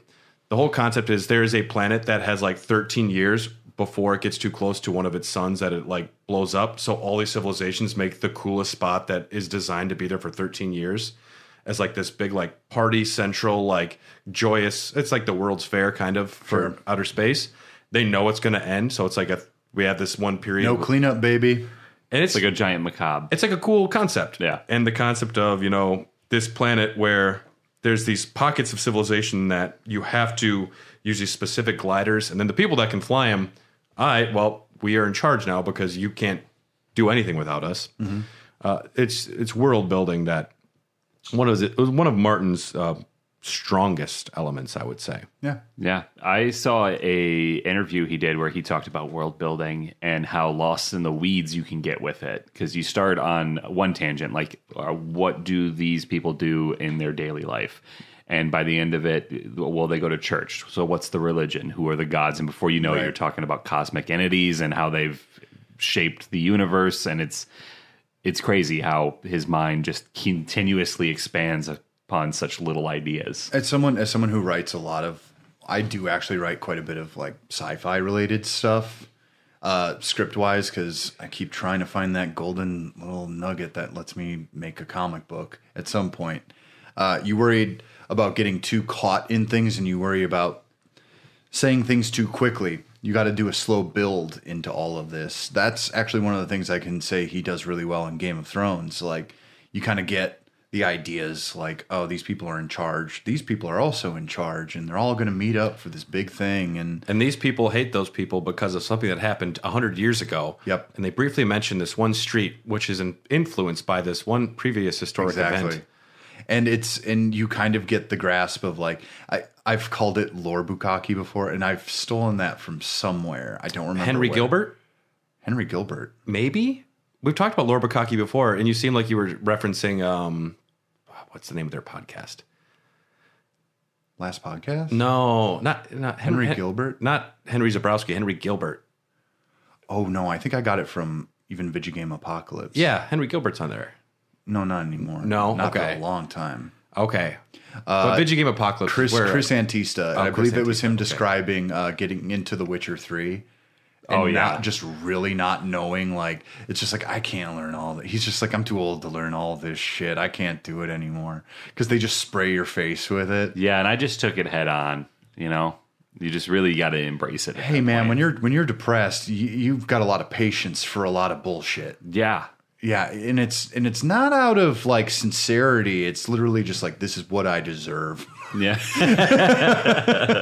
it hurts because it's true. hey man, I've been there. I still like. I, I was a little depressed when I like because I quit Starfield for like three days, and I'm just like Dylan, no, you got to give it a chance. You really got to go back at it. And then I was just like, just pretend you're living in the world. Just pretend like you're just this idiot with amnesia, and then you have everyone explain shit to you. Just let it flow over you. And now I I can I'm pretty well versed in that lore. I get it. Hell yeah, I get how it works. But you got to really immerse yourself. yeah. Yeah. And immersion is important in world building. In 1982, Miyazaki released Fevre Dream, which Miyazaki has said is it's his favorite work of George R. R. Martin's. It's I don't know if it's my favorite. It's it's one of my favorites. That's the graphic novelization, which isn't as good naturally because it's missing all the words, but 19th century Mississippi river steamboat vampire novel. Fucking sign me up. That sounds great. It's insane, dude. It's so good. It's the most gothic thing since Bram Stoker's Dracula. And it's just the way that he describes feasts in Game of Thrones, he describes riverboats in this. Describes all of the rooms and the way that the like so essentially, Abner Marsh is a steamboat captain grappling with financial crisis in 1857. He's contracted by Joshua York, a rich, soft-spoken gentleman. They become unlikely business partners when Joshua promises to finance the construction of the most magnificent new riverboat, uh, better than anyone ever made. Abner quickly discovers the guests on this boat, though, are not who they seem to be. Bum bum bum.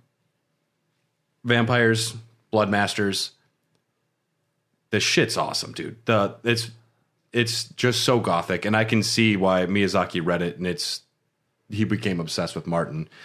It's when you got like It's tone. when you have a nice location that's different than your normal standard this is where the movie takes place sort of trope you know a steamboat is not your go-to like location for a story and then you add vampires to it it's subverting expectations in a way that david benioff and db weiss just could never do Just dude, New Orleans riverboats and vampires. interesting setup cool antagonist throw them together together with a good writer and you got something really eclectic It's very good. I'm, I'm looking over this uh, graphic novel right now. pretty and pretty horny. It's it's pretty horny. Uh, I actually like. There's a part of me that's like, this would look better if they took out the color. The colorist is not very good. Yeah, kind of garish. It's a little garish. It would look beautiful as just black and white, but that doesn't sell. So So George R. R. Martin, after Fevre Dream, thought that he had his big ticket that was going to be the novel. It's called The Armageddon Rag. Came out in 1983. That one's right there. It is my least favorite, and that's me being generous to saying I did not like that book at all. uh, essentially, get in rag essentially destroyed his career at the time. Considered moving into real estate, it went so bad. holy shit. Frustrated hippie Sandy Blair becomes involved in the investigation of the brutal murder of rock promoter Jamie Lynch, whose heart was torn from his body in a cult like ritual. Lynch had several bands, including the legendary rock group The Nazgul. Hey, I've heard that somewhere before. The lead singer was killed 10 years ago, and Subdued wants to bring in a new frontman who is a plant that wants to have a performance that will unleash a dark supernatural power upon the world. This sounds cool. I I mean, on the surface, but Brad's making a face. It, it sounds okay. I mean, I, the fact that the name of the band is The Nazgul, I'm like, I don't know. Like, yeah, it's a little. That's like kind of Call them the death. Call them the death cunts or something. Like, Yeah, Yeah. something heavy metal. yeah, The death cunts. I like that. it's not bad. Yeah. There's uh, it's cool. The uh, chapters are punctuated at the at the beginning with lyrics from various bands of the late '60s and When, '70s. when I read this, I played those songs before I read the chapter, so I listened to the song that was setting like the, the how the chapter would feel. Is it a lot of Sabbath?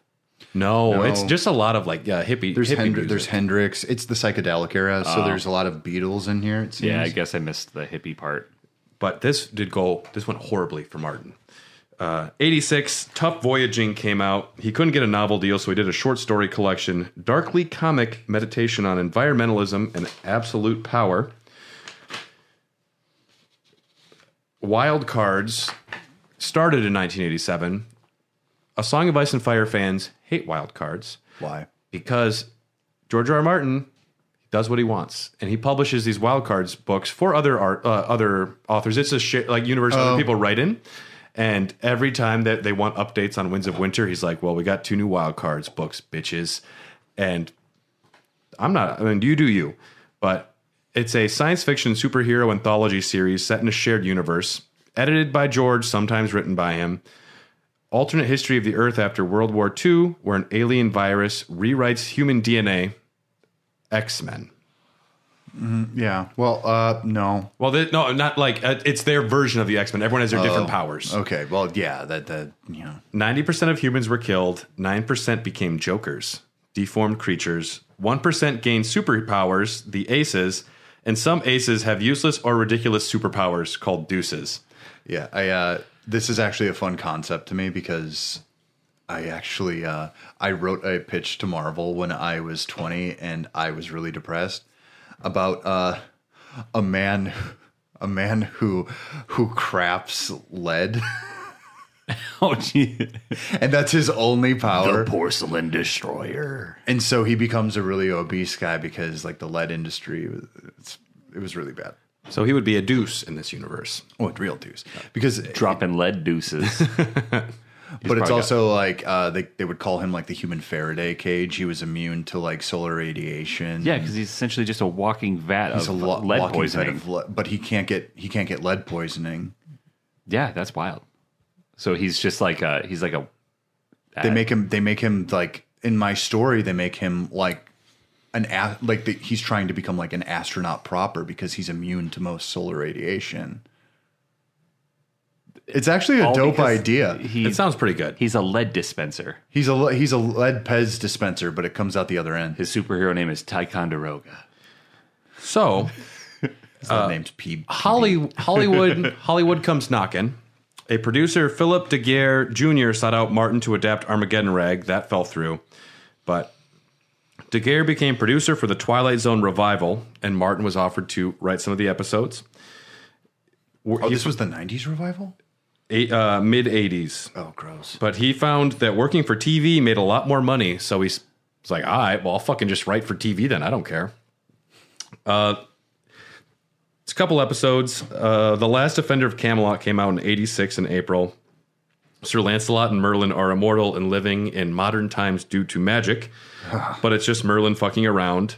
Double switch, it wasn't Merlin fucking around, and they are in modern times.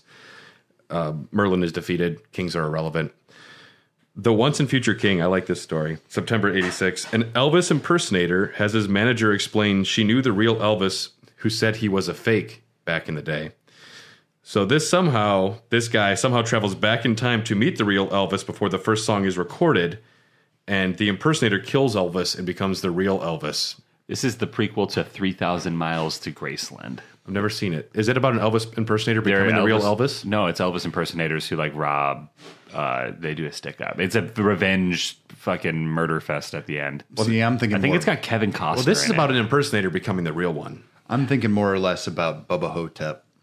Bubba Ho-Tep. Have you ever seen Bubba Ho-Tep? No, but I hear that's what's in the case in Pulp Fiction. The the Elvis costume from Bubba Ho-Tep is one of the theories. Really? Yeah, it's a stupid theory, but so Bubba Ho-Tep is about um, it's two it's uh, it's Elvis. He went into hiding and he let another person take over, and it's him in a nursing home when he's much older, and he's trying to convince everyone at this nursing home that he's Elvis. this sounds really cool. and there's a black man there who claims he's John F. Kennedy, and I'm in, dude. And- I am in. Yeah. and then there's this ancient mummy curse that brings Whoa, uh, whoa, whoa, whoa, whoa. Okay. There's also a mummy curse. yeah there's a mummy curse and Bruce Campbell plays Elvis. Okay. You, Popcorn dogs. Yep. You had me, and then you double had me at Bruce Campbell. Well, at first I was really into it, and then you said mummy's curse, and I couldn't even. I remember how much. that movie made me cry. Should not have made me cry. You had my attention, my curiosity, and now my And my, my now my boner. Uh, it's really good. And yeah, the black guy keeps this old black guy. He's like, yeah, and I'm Robert F. Kennedy, or I'm John F. Kennedy. Yeah, I'm one of like, them. Oh man, uh, and that's why no one believes that. Max Headroom. He wrote a story for uh, for an episode, but it was dis- deemed too disturbing and offensive. He wrote an episode for the second season called Christmas, but the show got canceled despite his episode getting into pre production. In 1987, a feature film based on one of his novels called Nightflyers came out. Is it any good? I haven't seen it. It's about a mysterious alien being and a group of scientists being uh, sent out on a space voyage. They are victimized by the ship's malevolent computer. It sounds pretty straightforward, like every other sci-fi horror. He You said the fil- 1987. yeah, said the film was not hugely successful, but it might have saved his career. It's got a 4.3 on IMDb and a 15% on Rotten Tomatoes. Whoa. So in 1989, Beauty and the Beast was a TV show. Mm-hmm. He was co-supervising producer. He wrote 14 of its episodes, with Linda Hamilton playing Beauty and Ron Perlman playing the Beast. We briefly talked about this recently, didn't we? Probably because I was. It's amazing. Yeah. It's it's like uh, schlocky romance, uh, weird fantasy modernized.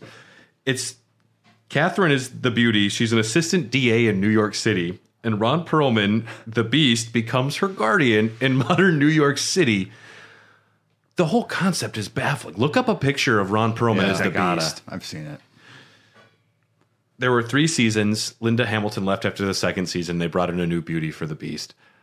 Uh, just the Ron Perlman playing the Beast in uh, 1980s. Jesus Christ. I know, right? Oh my God. And I guarantee a lot of uh, women and men were horny as fuck for this show. Yeah. That is the most terrifying cat face beast motherfucker I have seen in a hot minute. And imagine him in modern New York City, like, can I get a slice of pizza or something? Yeah. Yeah. Well, you know what's funny about that is that I actually do believe a lot of people, uh, you know, who get like the intense plastic surgery, like there are people who actually cite this as how they wanted to look, Yeah. Mm-hmm. Yeah, you're right. That one dude who sharpened his teeth and everything. like the cat lady, yeah. who looks I am- scary now. This is excellent prosthetic makeup. I'm in awe at it. This is going to give me nightmares. Watch some of the highlights of it. I am going to. This is Some terrifying. gooey, gooey nightmares for Tyler Arhead. In 1994, a sci fi show called Doorways about a fugitive extraterrestrial trying to escape from interplanetary goons in the FBI came out. Interplanetary goons. Had to get a day job. Uh, so Alf, what a ripoff!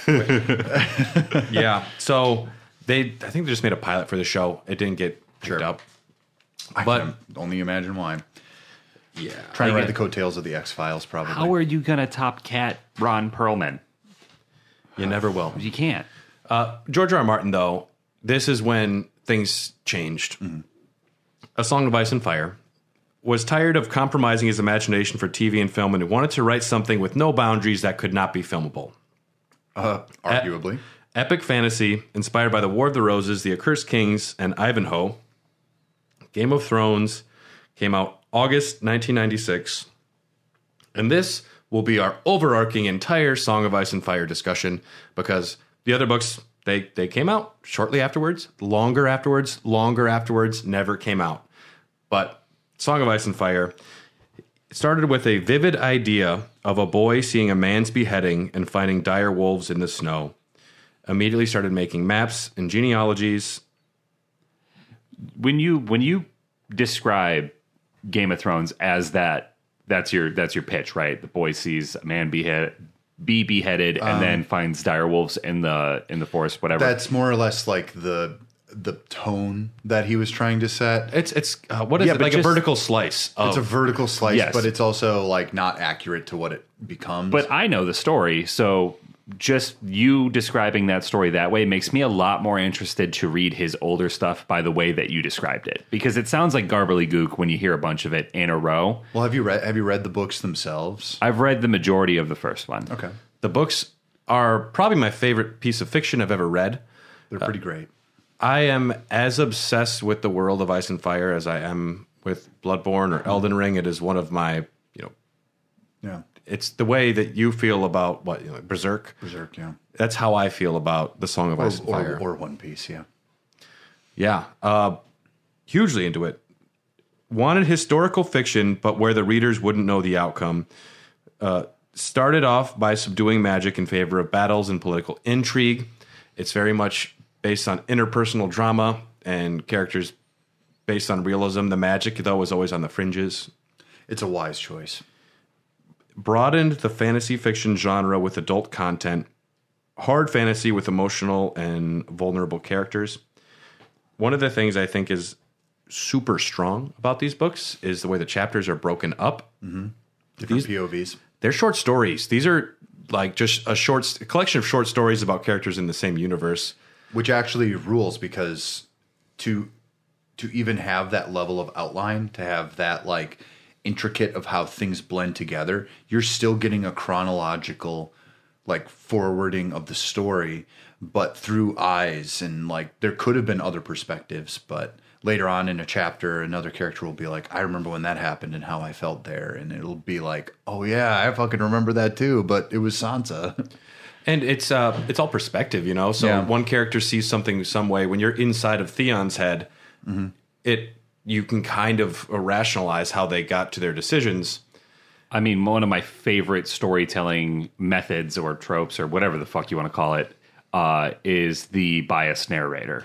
That is my f- absolute favorite because essentially it's an RPG book then at that point where Yeah. you are putting yourself into somebody else's head and you have to believe that their truths are truth and that they aren't skewed or swayed in any other way. And you haven't gotten to the part where you start reading Cersei chapters and you're like, I am inside of crazy. yeah I'm inside of crazy. I understand how she is thinking this bonkers shit.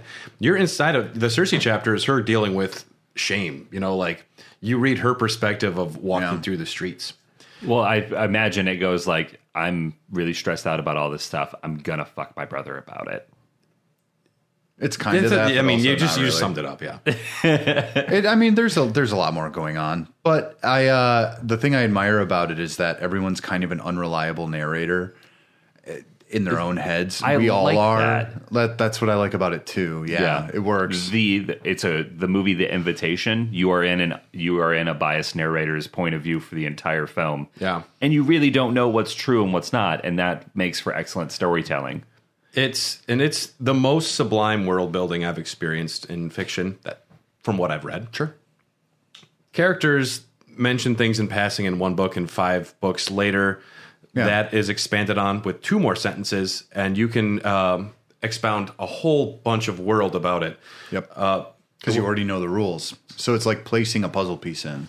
One thing that I think helps with uh, the the world of Elden Ring, uh, the different religions, the different outer gods, the concepts are in the world of Ice and Fire too, where he takes real world religions, animism, you know, far eastern concepts, Yeah. and bends them, takes this, chops this part off, and it'll include something from another religion. But most of his world building is uh, kind of rooted in oh, there's this co- uh, country or this continent we went to. There are giant like monkey men, and there are diseases there that we can't handle, and it's it's uh, kind of um, it's rooted in things that could have been explained or rationalized in the real world Yeah. and it goes into old gods. It goes into not understanding how things work. Uh, I, I really like the world of ice and fire. This book here, which is just simply world building and talking about the continents you've never been to, are fascinating. that part always intrigued me more than what was actually going on. I'm kind of like the person who really likes like the oh fuck, there's like something weird going on in the background. That's the shit I get obsessed with. The drunk priest who just is doing the funeral rites that he just kind of goes through and never believed in it and accidentally resurrects someone. He's like, I, I'm still just a drunk dude, but I guess I can resurrect people now. Yeah. Are we talking about Lady Stoneheart? Thoros of Myr. Oh, could you read the books? I read them a while ago, 2011. Yeah, Lady Stoneheart's exclusion from the show is one of the most heartbreaking elements. It's strange. They could have really brought her back. strong Belwas. Yeah. Uh, I Daenerys, don't Tar- remember her or them. Daenerys Targaryen had uh, a former uh, slave Colosseum fighter, just like this giant, big, like uh, black dude. I think he was like, Oh, I remember him. Yeah, Yeah. okay. and he had every time he fought somebody, let him cut his belly one time while he was fighting before he killed him. And So he's just full of cuts. He's just this giant fat Yeah. dude that kills everybody, and he just slaps his belly all the time. Instead of Daario fighting Meereen's champion, it was Belwas, and instead of peeing on the like the guy afterwards, Uh, the guy made fun of him for not having a dick because Belwas didn't, and he took a big shit and then wiped his ass with the dude's cape. and that's just George R. R. Martin, right That's there. really funny though. yeah. There's a lot missing. Uh, one thing I find, it's the short storytelling is That was from Dance of Dragons, right? It's either I think it was Dance with Dragons, yeah. But there's there's one chapter that sticks with me where Bran is in a neglected castle on the wall mm-hmm. that they're they're not at anymore, the the Night's Watch, and there's just this tale about a rat king who ser- like broke guest right and served someone's like child to him and was forever cursed to be a rat.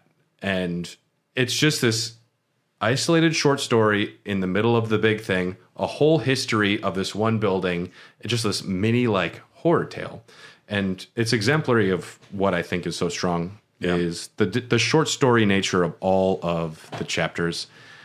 It Theon's stuff in A Dance with Dragons when Wild. he is in Winterfell and there is um, a mysterious murderer killing everybody. No one knows what's going on, and it is the biggest winter outside the show failed spectacularly in delivering what George R. R. Martin wrote. I think I think the I think they tried as hard as they could, but like the whole idea that George R. R. Martin is more concerned with what characters go through developmentally within their own lives, and he want like the show just really needs these characters to interact because they're on the fucking they're on the books, they got to get paid, and I can understand kinda.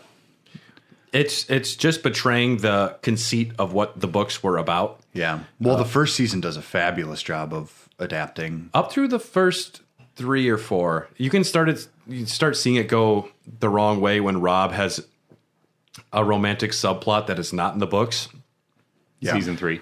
Uh, uh, even two in the books, he has a moment of weaknesses and sex with a, a camp follower, and marries her out of his code of honor, despite having to betray Walder Yeah. Frey. And it's not like this forbidden love; it's more like I have to, I have to marry her now. And hmm. honor, much like the way Ned Stark is killed for honor, Robb gets killed for honor. Uh, because he was the one most like his father, really. Yeah. So, yeah. The show happened. George R. R. Martin, meteoric rise. Everyone wants a piece of this fucking guy now. Yeah. He has since then written tons of short stories, tons of world building. Dunk and Egg. Dunk and Egg is great. Yeah, it's good. I yeah. hope they they they're talking about making that into an HBO show. Dunk and Egg. Imagine um, a young Targaryen prince who just runs off and wants to be a poor person, just experience the world, and he finds this hedge knight, a very honorable big dumb dude, Mm-hmm. who's like he'll walk in and be like, you know what, you're fucking wrong. And it's like, yo, you are just walking into a scorpion's nest and starting shit, but Dunk doesn't care, and he accidentally just saves the planet. Pretty much, he's they're really cool. ostensibly they're almost like comedy pieces. They're so good. They're funny. They're actually legitimately funny. Dunk and Egg is great, but he's been only working essentially in the Song of Ice and Fire world for mm-hmm. his writing since then. Personal life, supporter of the Wild Spirit Wolf Sanctuary. He bought a cinema and a coffee house, which they both had been closed in his hometown or where he's living. Completely restored it. Uh, tons of free showings at the theater. Anything that he's Yeah. worked on, he'll like have free showings and bring creators there. He's got HBO money, man. He can do anything he Yeah. fucking wants. He bought a bookstore and named it Beastly Books after Ron Perlman. Oh, that's so cute.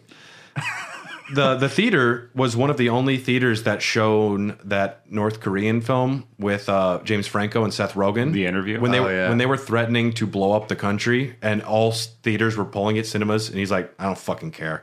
We have free speech in this country. I'm going to play it." Oh, damn. So God damn. That's a real American right there. Hell yeah. Conscientious objector. I'll tell you what, that's the most American fucking thing you can do. Hell yeah, brother. Sta- stands up for his beliefs, and I appreciate that. You can by you can by being quote unquote patriotic, you can become the most patriotic person in the world. That rules. I love this country sometimes. huge fan, huge football guy, big Yeah. fan of the New York Jets and the Giants. I bet he's feeling really great right now. Oh, poor poor guy. Well, I wanted Rodgers to do good because when the Jets or Giants do good, he says he writes better. So I have another dog in the fight. There is a giant in the Song of Ice and Fire named Wun Wun, based off of a Giants quarterback that was number eleven.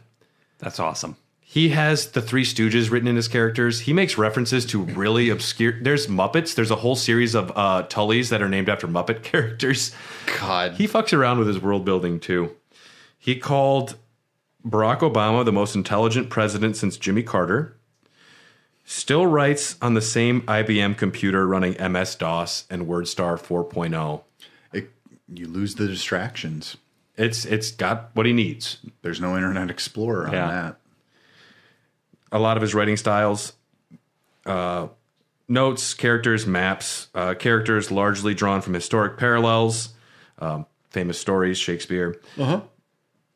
despite notes and proofreading some characters eyes have changed color and a horse had a sex change is the biggest one in the books he says fan fiction he's highly opposed to it views it as copyright infringement and a horrible exercise for new writers when they could be writing their own new things I totally agree. I 100% disagree. Whoa. I I adamantly disagree. Agree. I Some of- totally agree. Some of my you gotta create your own thing Yeah, well, no. When sometimes you get stuck, because I do a lot of writing on my own, and I don't really share it anywhere. It's because I never think it's good enough. But we're not going to get into that. When I hit writer's block, and there is an the story I'm trying to get out that I can't get out, I often jump into the world of The Walking Dead, and I will write short stories in that world or The Last of Us, and I find it to be an incredible exercise to have an already fleshed out world where you can just focus on dialogue and character arc. I'd say as long as you're writing new characters in a built up mythos. Yeah, that's what I do. And then you can just change the mythos around it. I am of the mind that everything comes from the thing before it.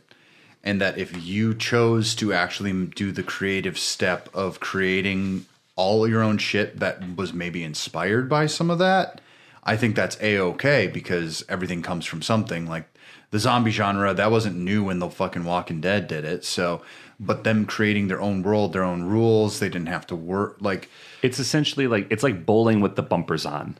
Yeah, but also you could yeah, just, but I, I you could never would zo- want. I would never want to bowl with the bumpers. you on. could just have a zombie framework and not have to have it be in The Walking Dead. But it's uh, being a fan of it and almost contributing privately to it is really accomplishing. And you kind of level your characters up against the ones that already exist. So there's a bar that's been set that requires like actual like you you need to do the story justice. It's not like you're just fucking around in a playground. I and I and I respect that, and I actually think there is like room for that, especially when It's it comes. more so an exercise Well, than it is like a imagine an actual a, passion. Well, imagine being a TV writer who jumps into say like Modern Family on the fifth season. You have to already know those characters. Yeah, you gotta When the that's fine, it's fine when it's a group endeavor. But I think when you're on your own, I think that you basically have free reign of everything. All creative control is in your hands. It's much like when I draw something. I don't have. I could. I could fuck around in any way I want, but and sometimes I'll draw a fan art, and but the but the issue ends up becoming like I'm not going to tell people that it's mine. Oh, like, oh yeah. The, the issue here is I think he's very personal about the idea that they stick it sticks to the person, it sticks to the creator no matter what that actually is. You can make the argument that once art is out in the world that it belongs to the world now. I don't think that's true because I've read way too much fucking Harry Potter fan fiction that made me want to blow my fucking brains out. I know, and I have to fucking live with the fact that My Chemical Romance is the direct inspiration for Fifty Shades of Voldemort, Grey. Voldemort thought Aunt Petunia looked hot. Voldemort, yeah. Voldemort said, "Come here, let me slither between your legs." The motorcycle roared between Hagrid's legs. His erection was larger than you thought. He was a half giant for reals. yeah. Martin has said, I think there are two types of writers the architects and the gardeners. The architects plan everything ahead of time, like an architect building a house. The gardeners dig a hole, drop a seed in it, and water it. As the plant comes up and they water it, they don't know how many branches it's going to have. They find out as it grows. That's a good analogy. I'm That's much all- more that's of a gardener shown in manga. Much more of a gardener than an architect, and that's why I think Martin gets himself into trouble. Why he's been stuck with Winds of Winter.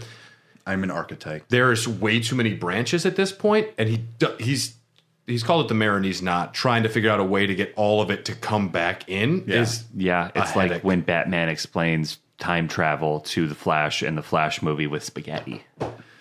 That worked though. Yeah. And as far as a new way to describe time travel, somehow they yeah, They Dylan loved The Flash. He told me he texted me he's like this is my favorite film of the year. I own it somehow. The influences that Martin has cited: H.P. Lovecraft. I don't know a lot of these uh, people. Robert Howard, Robert Heinlein, Eric Frank Russell, Heinlein. Heinlein, Andre Norton, Isaac Asimov, Fritz Leiber, Mervyn Peake, and Tolkien. Heinlein is a really good sci-fi writer. I heard that Tolkien guy's pretty solid too. Miyazaki. I don't know. Uh, Miyazaki. Now we're going to get to their collaboration. This will go pretty quick for the Packers. Tyler. Oh, no worries. Um, Miyazaki says, I suppose the beginning of this col- collaboration came from the fact that I'm a huge fan of Martin's work. I love A Song of Ice and Fire as well as the Tuf Voyaging series. However, my favorite is Fevre Dream. He sees Fevre Dream as a masterpiece among vampire fantasy. Miyazaki had From Software contact Martin, fully expecting to be turned down. It's like when I asked out Carly. uh, something clicked during the meeting. Uh, collaboration began. He came to Santa Fe. The actual collaboration began with Martin s- ever so politely confirming the themes, ideas, video game related aspects, and vision for the game. They had open and creative discussions discussing it.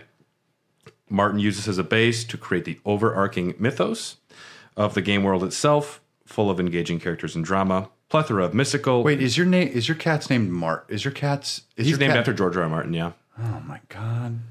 I'm so dumb. yeah.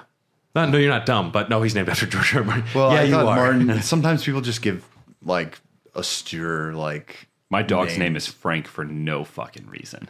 Martin my cat's name is Goblin because I said, look at that little fucking goblin. Martin Lionel because my mom loved Lionel Richie. Jaharis because Jaharis was the conciliator and Martin brought great calm and peace to my life. Okay. McFly because he's McFly. He's a dum dum. I slap my head when he does stupid things. Say Yeah. McFly. Is he a big chicken? Martin Lionel Jaharis McFly. He's not a chicken though. He is. He's not a coward. No, he's violent.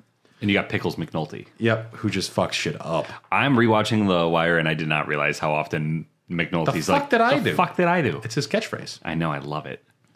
So essentially, Martin's role was to create the base, all of the things that happened before um, the modern point of the game, all of the interrelationships for the, the gods, The broth, the bouillon. the bouillon. He created Rykard. He created Ronnie. He created Radagon is Marika. Finkel is Einhorn. He created the the base for all of the mythos of the world. And then for Miyazaki, that's liberating because then you can take this starting point and then everything afterwards is for them to fuck around. And you got the can get best chunky possible with it. guy to do it. the best world builder. Yeah, and I think it is because he did minor in history. Like his world building is very grounded in history, and it's prevalent throughout A Song of Ice and Fire and Elden Ring, and it makes it that much more believable because it does kind of mirror or rival our history. As someone who's really bad with names, they could have really just really done a twice over on that. I agree. I'm in that camp too. But it, names are deriving from other things. Um, I understand, but they are all G's and R's and M's. Yeah. And I'm sorry if if your name is Steve, I'm gonna forget your name, man. Can I get a Tommy in there or something? You know, If, if there is Amy. Millicent's sister is named Amy. So true. great, famously, Amy. that Amy, that ain't me. love her in Pitch Perfect. They call her Fat Amy. Never seen it. I have. I don't know why. Is it play, is she played by Rebel Wilson? Yeah. They just literally just go up, walk up to her and call her Fat Amy. It's very weird. They can't do that anymore. Uh, uh, Now she's in the words of plus size. Tyrion Lannister, uh, wear it as armor. You know, you got to know who you are, and they can't hurt you with it. So when people call me like Big Dick Brad, I'm not offended. That's why B Rabbit. You're not offended because it's nowhere near the truth. That's why B Rabbit was able to get on stage and diss uh, the entire whatever the group was in Eight Mile because he disses himself instead of dissing the other guy. See how they flipped the script there? That's subverting expectations. Something Eminem- DB Weiss and David Benioff couldn't Yeah. do. Uh, that so Martin's role was largely just creating the mythos, the the world building. The player will be able to discover and learn about Martin's mythology through exploration. We are known for allowing the player to explore the game's story and lore through fragments of environmental storytelling. This time around, Martin's story is that you will is what you'll be trying to unravel. The period the player explores is still connected to the old times. You will gradually discover why the world turned the way it is, but even Martin has said on like I think it was Colbert. I essentially wrote five thousand years before the game, everything that happened before then. Yeah. and then it was after the shattering, like the, the events of the shattering happened. But timeline of production. November 2016, a leaker reveals a new Soul game is being created where you ride a horse and is written by a very big name. Sometimes the game is referred to as Great Rune. In March of 2017, Martin's assistant Ty Franck said that they're working with From Software. Early 2017, development officially had begun. Two weeks before 2019 E3, Martin wrote in his Not a blog he was doing a collaboration with a video game company from Japan. Uh, June 9th of 2019, reveal in a trailer. May 2020, game development completed. July 2020 was when voice recording was happening. These are just what we know because I didn't say, say any of these things to us. Sure. Months leading up to release, Miyazaki leaves the office only sporadically to shower because well, Crunch. If that's his choice, Yeah, Uh, it is. He's not making other people do it. I can respect it. No, that's fine. But his Created- daughters are like, I don't know. I've never even played any of this shit. What's he actually doing? What is a Dark Soul? Quotations: Creating a more open game is significant. A significant is a significant difficulty for us. If we were to include towns on top of that, it would become a bit too much. We decided to make an open world game focused on what we are best at. And describing the theme of Elden Ring in one interview is kind of the overarching idea. The theme is the will or ambition of humanity. Sure. That's Dark Souls as well. Yep. And the the entire point of the ending of Elden Ring is choosing what you think the best path for humanity is in like an existential world where everything's fucked and gods are not helping us. That's why I keep saying that Elden Ring is essentially a spiritual successor to Dark Souls. You see, where Bloodborne, I became a squid baby who can go to outer space. Yeah, I did too. I fought. I fought the thing that's living behind the moon. It's on my leg. It's on my leg. It's true. Yeah. Uh, any closing thoughts on Miyazaki or Martin from you two? I'm excited to play the other Souls games or anything that From Software From Software's done since delving into Elden Ring. But I think that this was a match made in heaven for backstory, history to a game, and the scope of what Elden Ring was trying to achieve. You couldn't have had a better person lay out the history to have a really good game designer build upon it. It's just it just works really well. I I can't see where Miyazaki goes next. I believe Elden Ring 2 is a possibility, but I also am I just hope they don't. I'm just more excited to see what Miyazaki does after this because Yeah, I generally hope that it's not another Elden Ring. Well, we know for sure it's the DLC. I have a feeling the DLC is going to be massive. I have a feeling it's going to be essentially Elden Ring 2. It's going to be 30 hours of gameplay is my prediction. Sure. Yeah. That's essentially what uh, Artorias of the Abyss was for uh, Dark Souls. And kind of uh the hunter's dream. Yeah. Yeah. Yeah. Not the hunter's dream, the nightmare, forget what it was called. I The Bloodborne know. DLC. Of course. But yeah, I love Martin and I love Miyazaki. And it Elden Ring makes more sense to me knowing kind of who these guys are Yeah. and why the design choices were made and how the they built the world. Hair the Dogcast and Elden Dogs exist because of people like you. So thanks for listening. If you have questions or thoughts about this episode, uh, reach out to us. We'd love to talk with you about them. We are on Instagram, we are on Facebook, we are on Twitter. We don't have a TikTok. sounds exhausting. I mean, I do, but it's so embarrassing. If you want access to these episodes way in advance and bonus podcasts, movie and TV discussions, raw dogs, there's a lot of things on our behind the Patreon wall. We have a free trial where you can get access to most of it. Patreon.com slash hair the dogcast. Special thanks to executive producers Rykard, Chrissy Nick, Malakip the Black Blade, Blaggard Big Brian, Jordan Hoslow, Sorceress of Blood, and Festering Fingerprint Phil.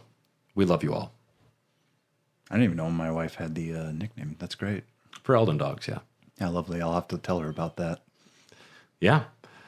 And go pack go. Go Pack Go. And Jets and Giants if Martin is listening. I'll I'll allow it until the playoffs, but I don't think the Giants are going to the playoffs anyway. See, like Martin wrote all of Aaron Rodgers' career before this year, and then Rodgers. Why do you make him such a prick?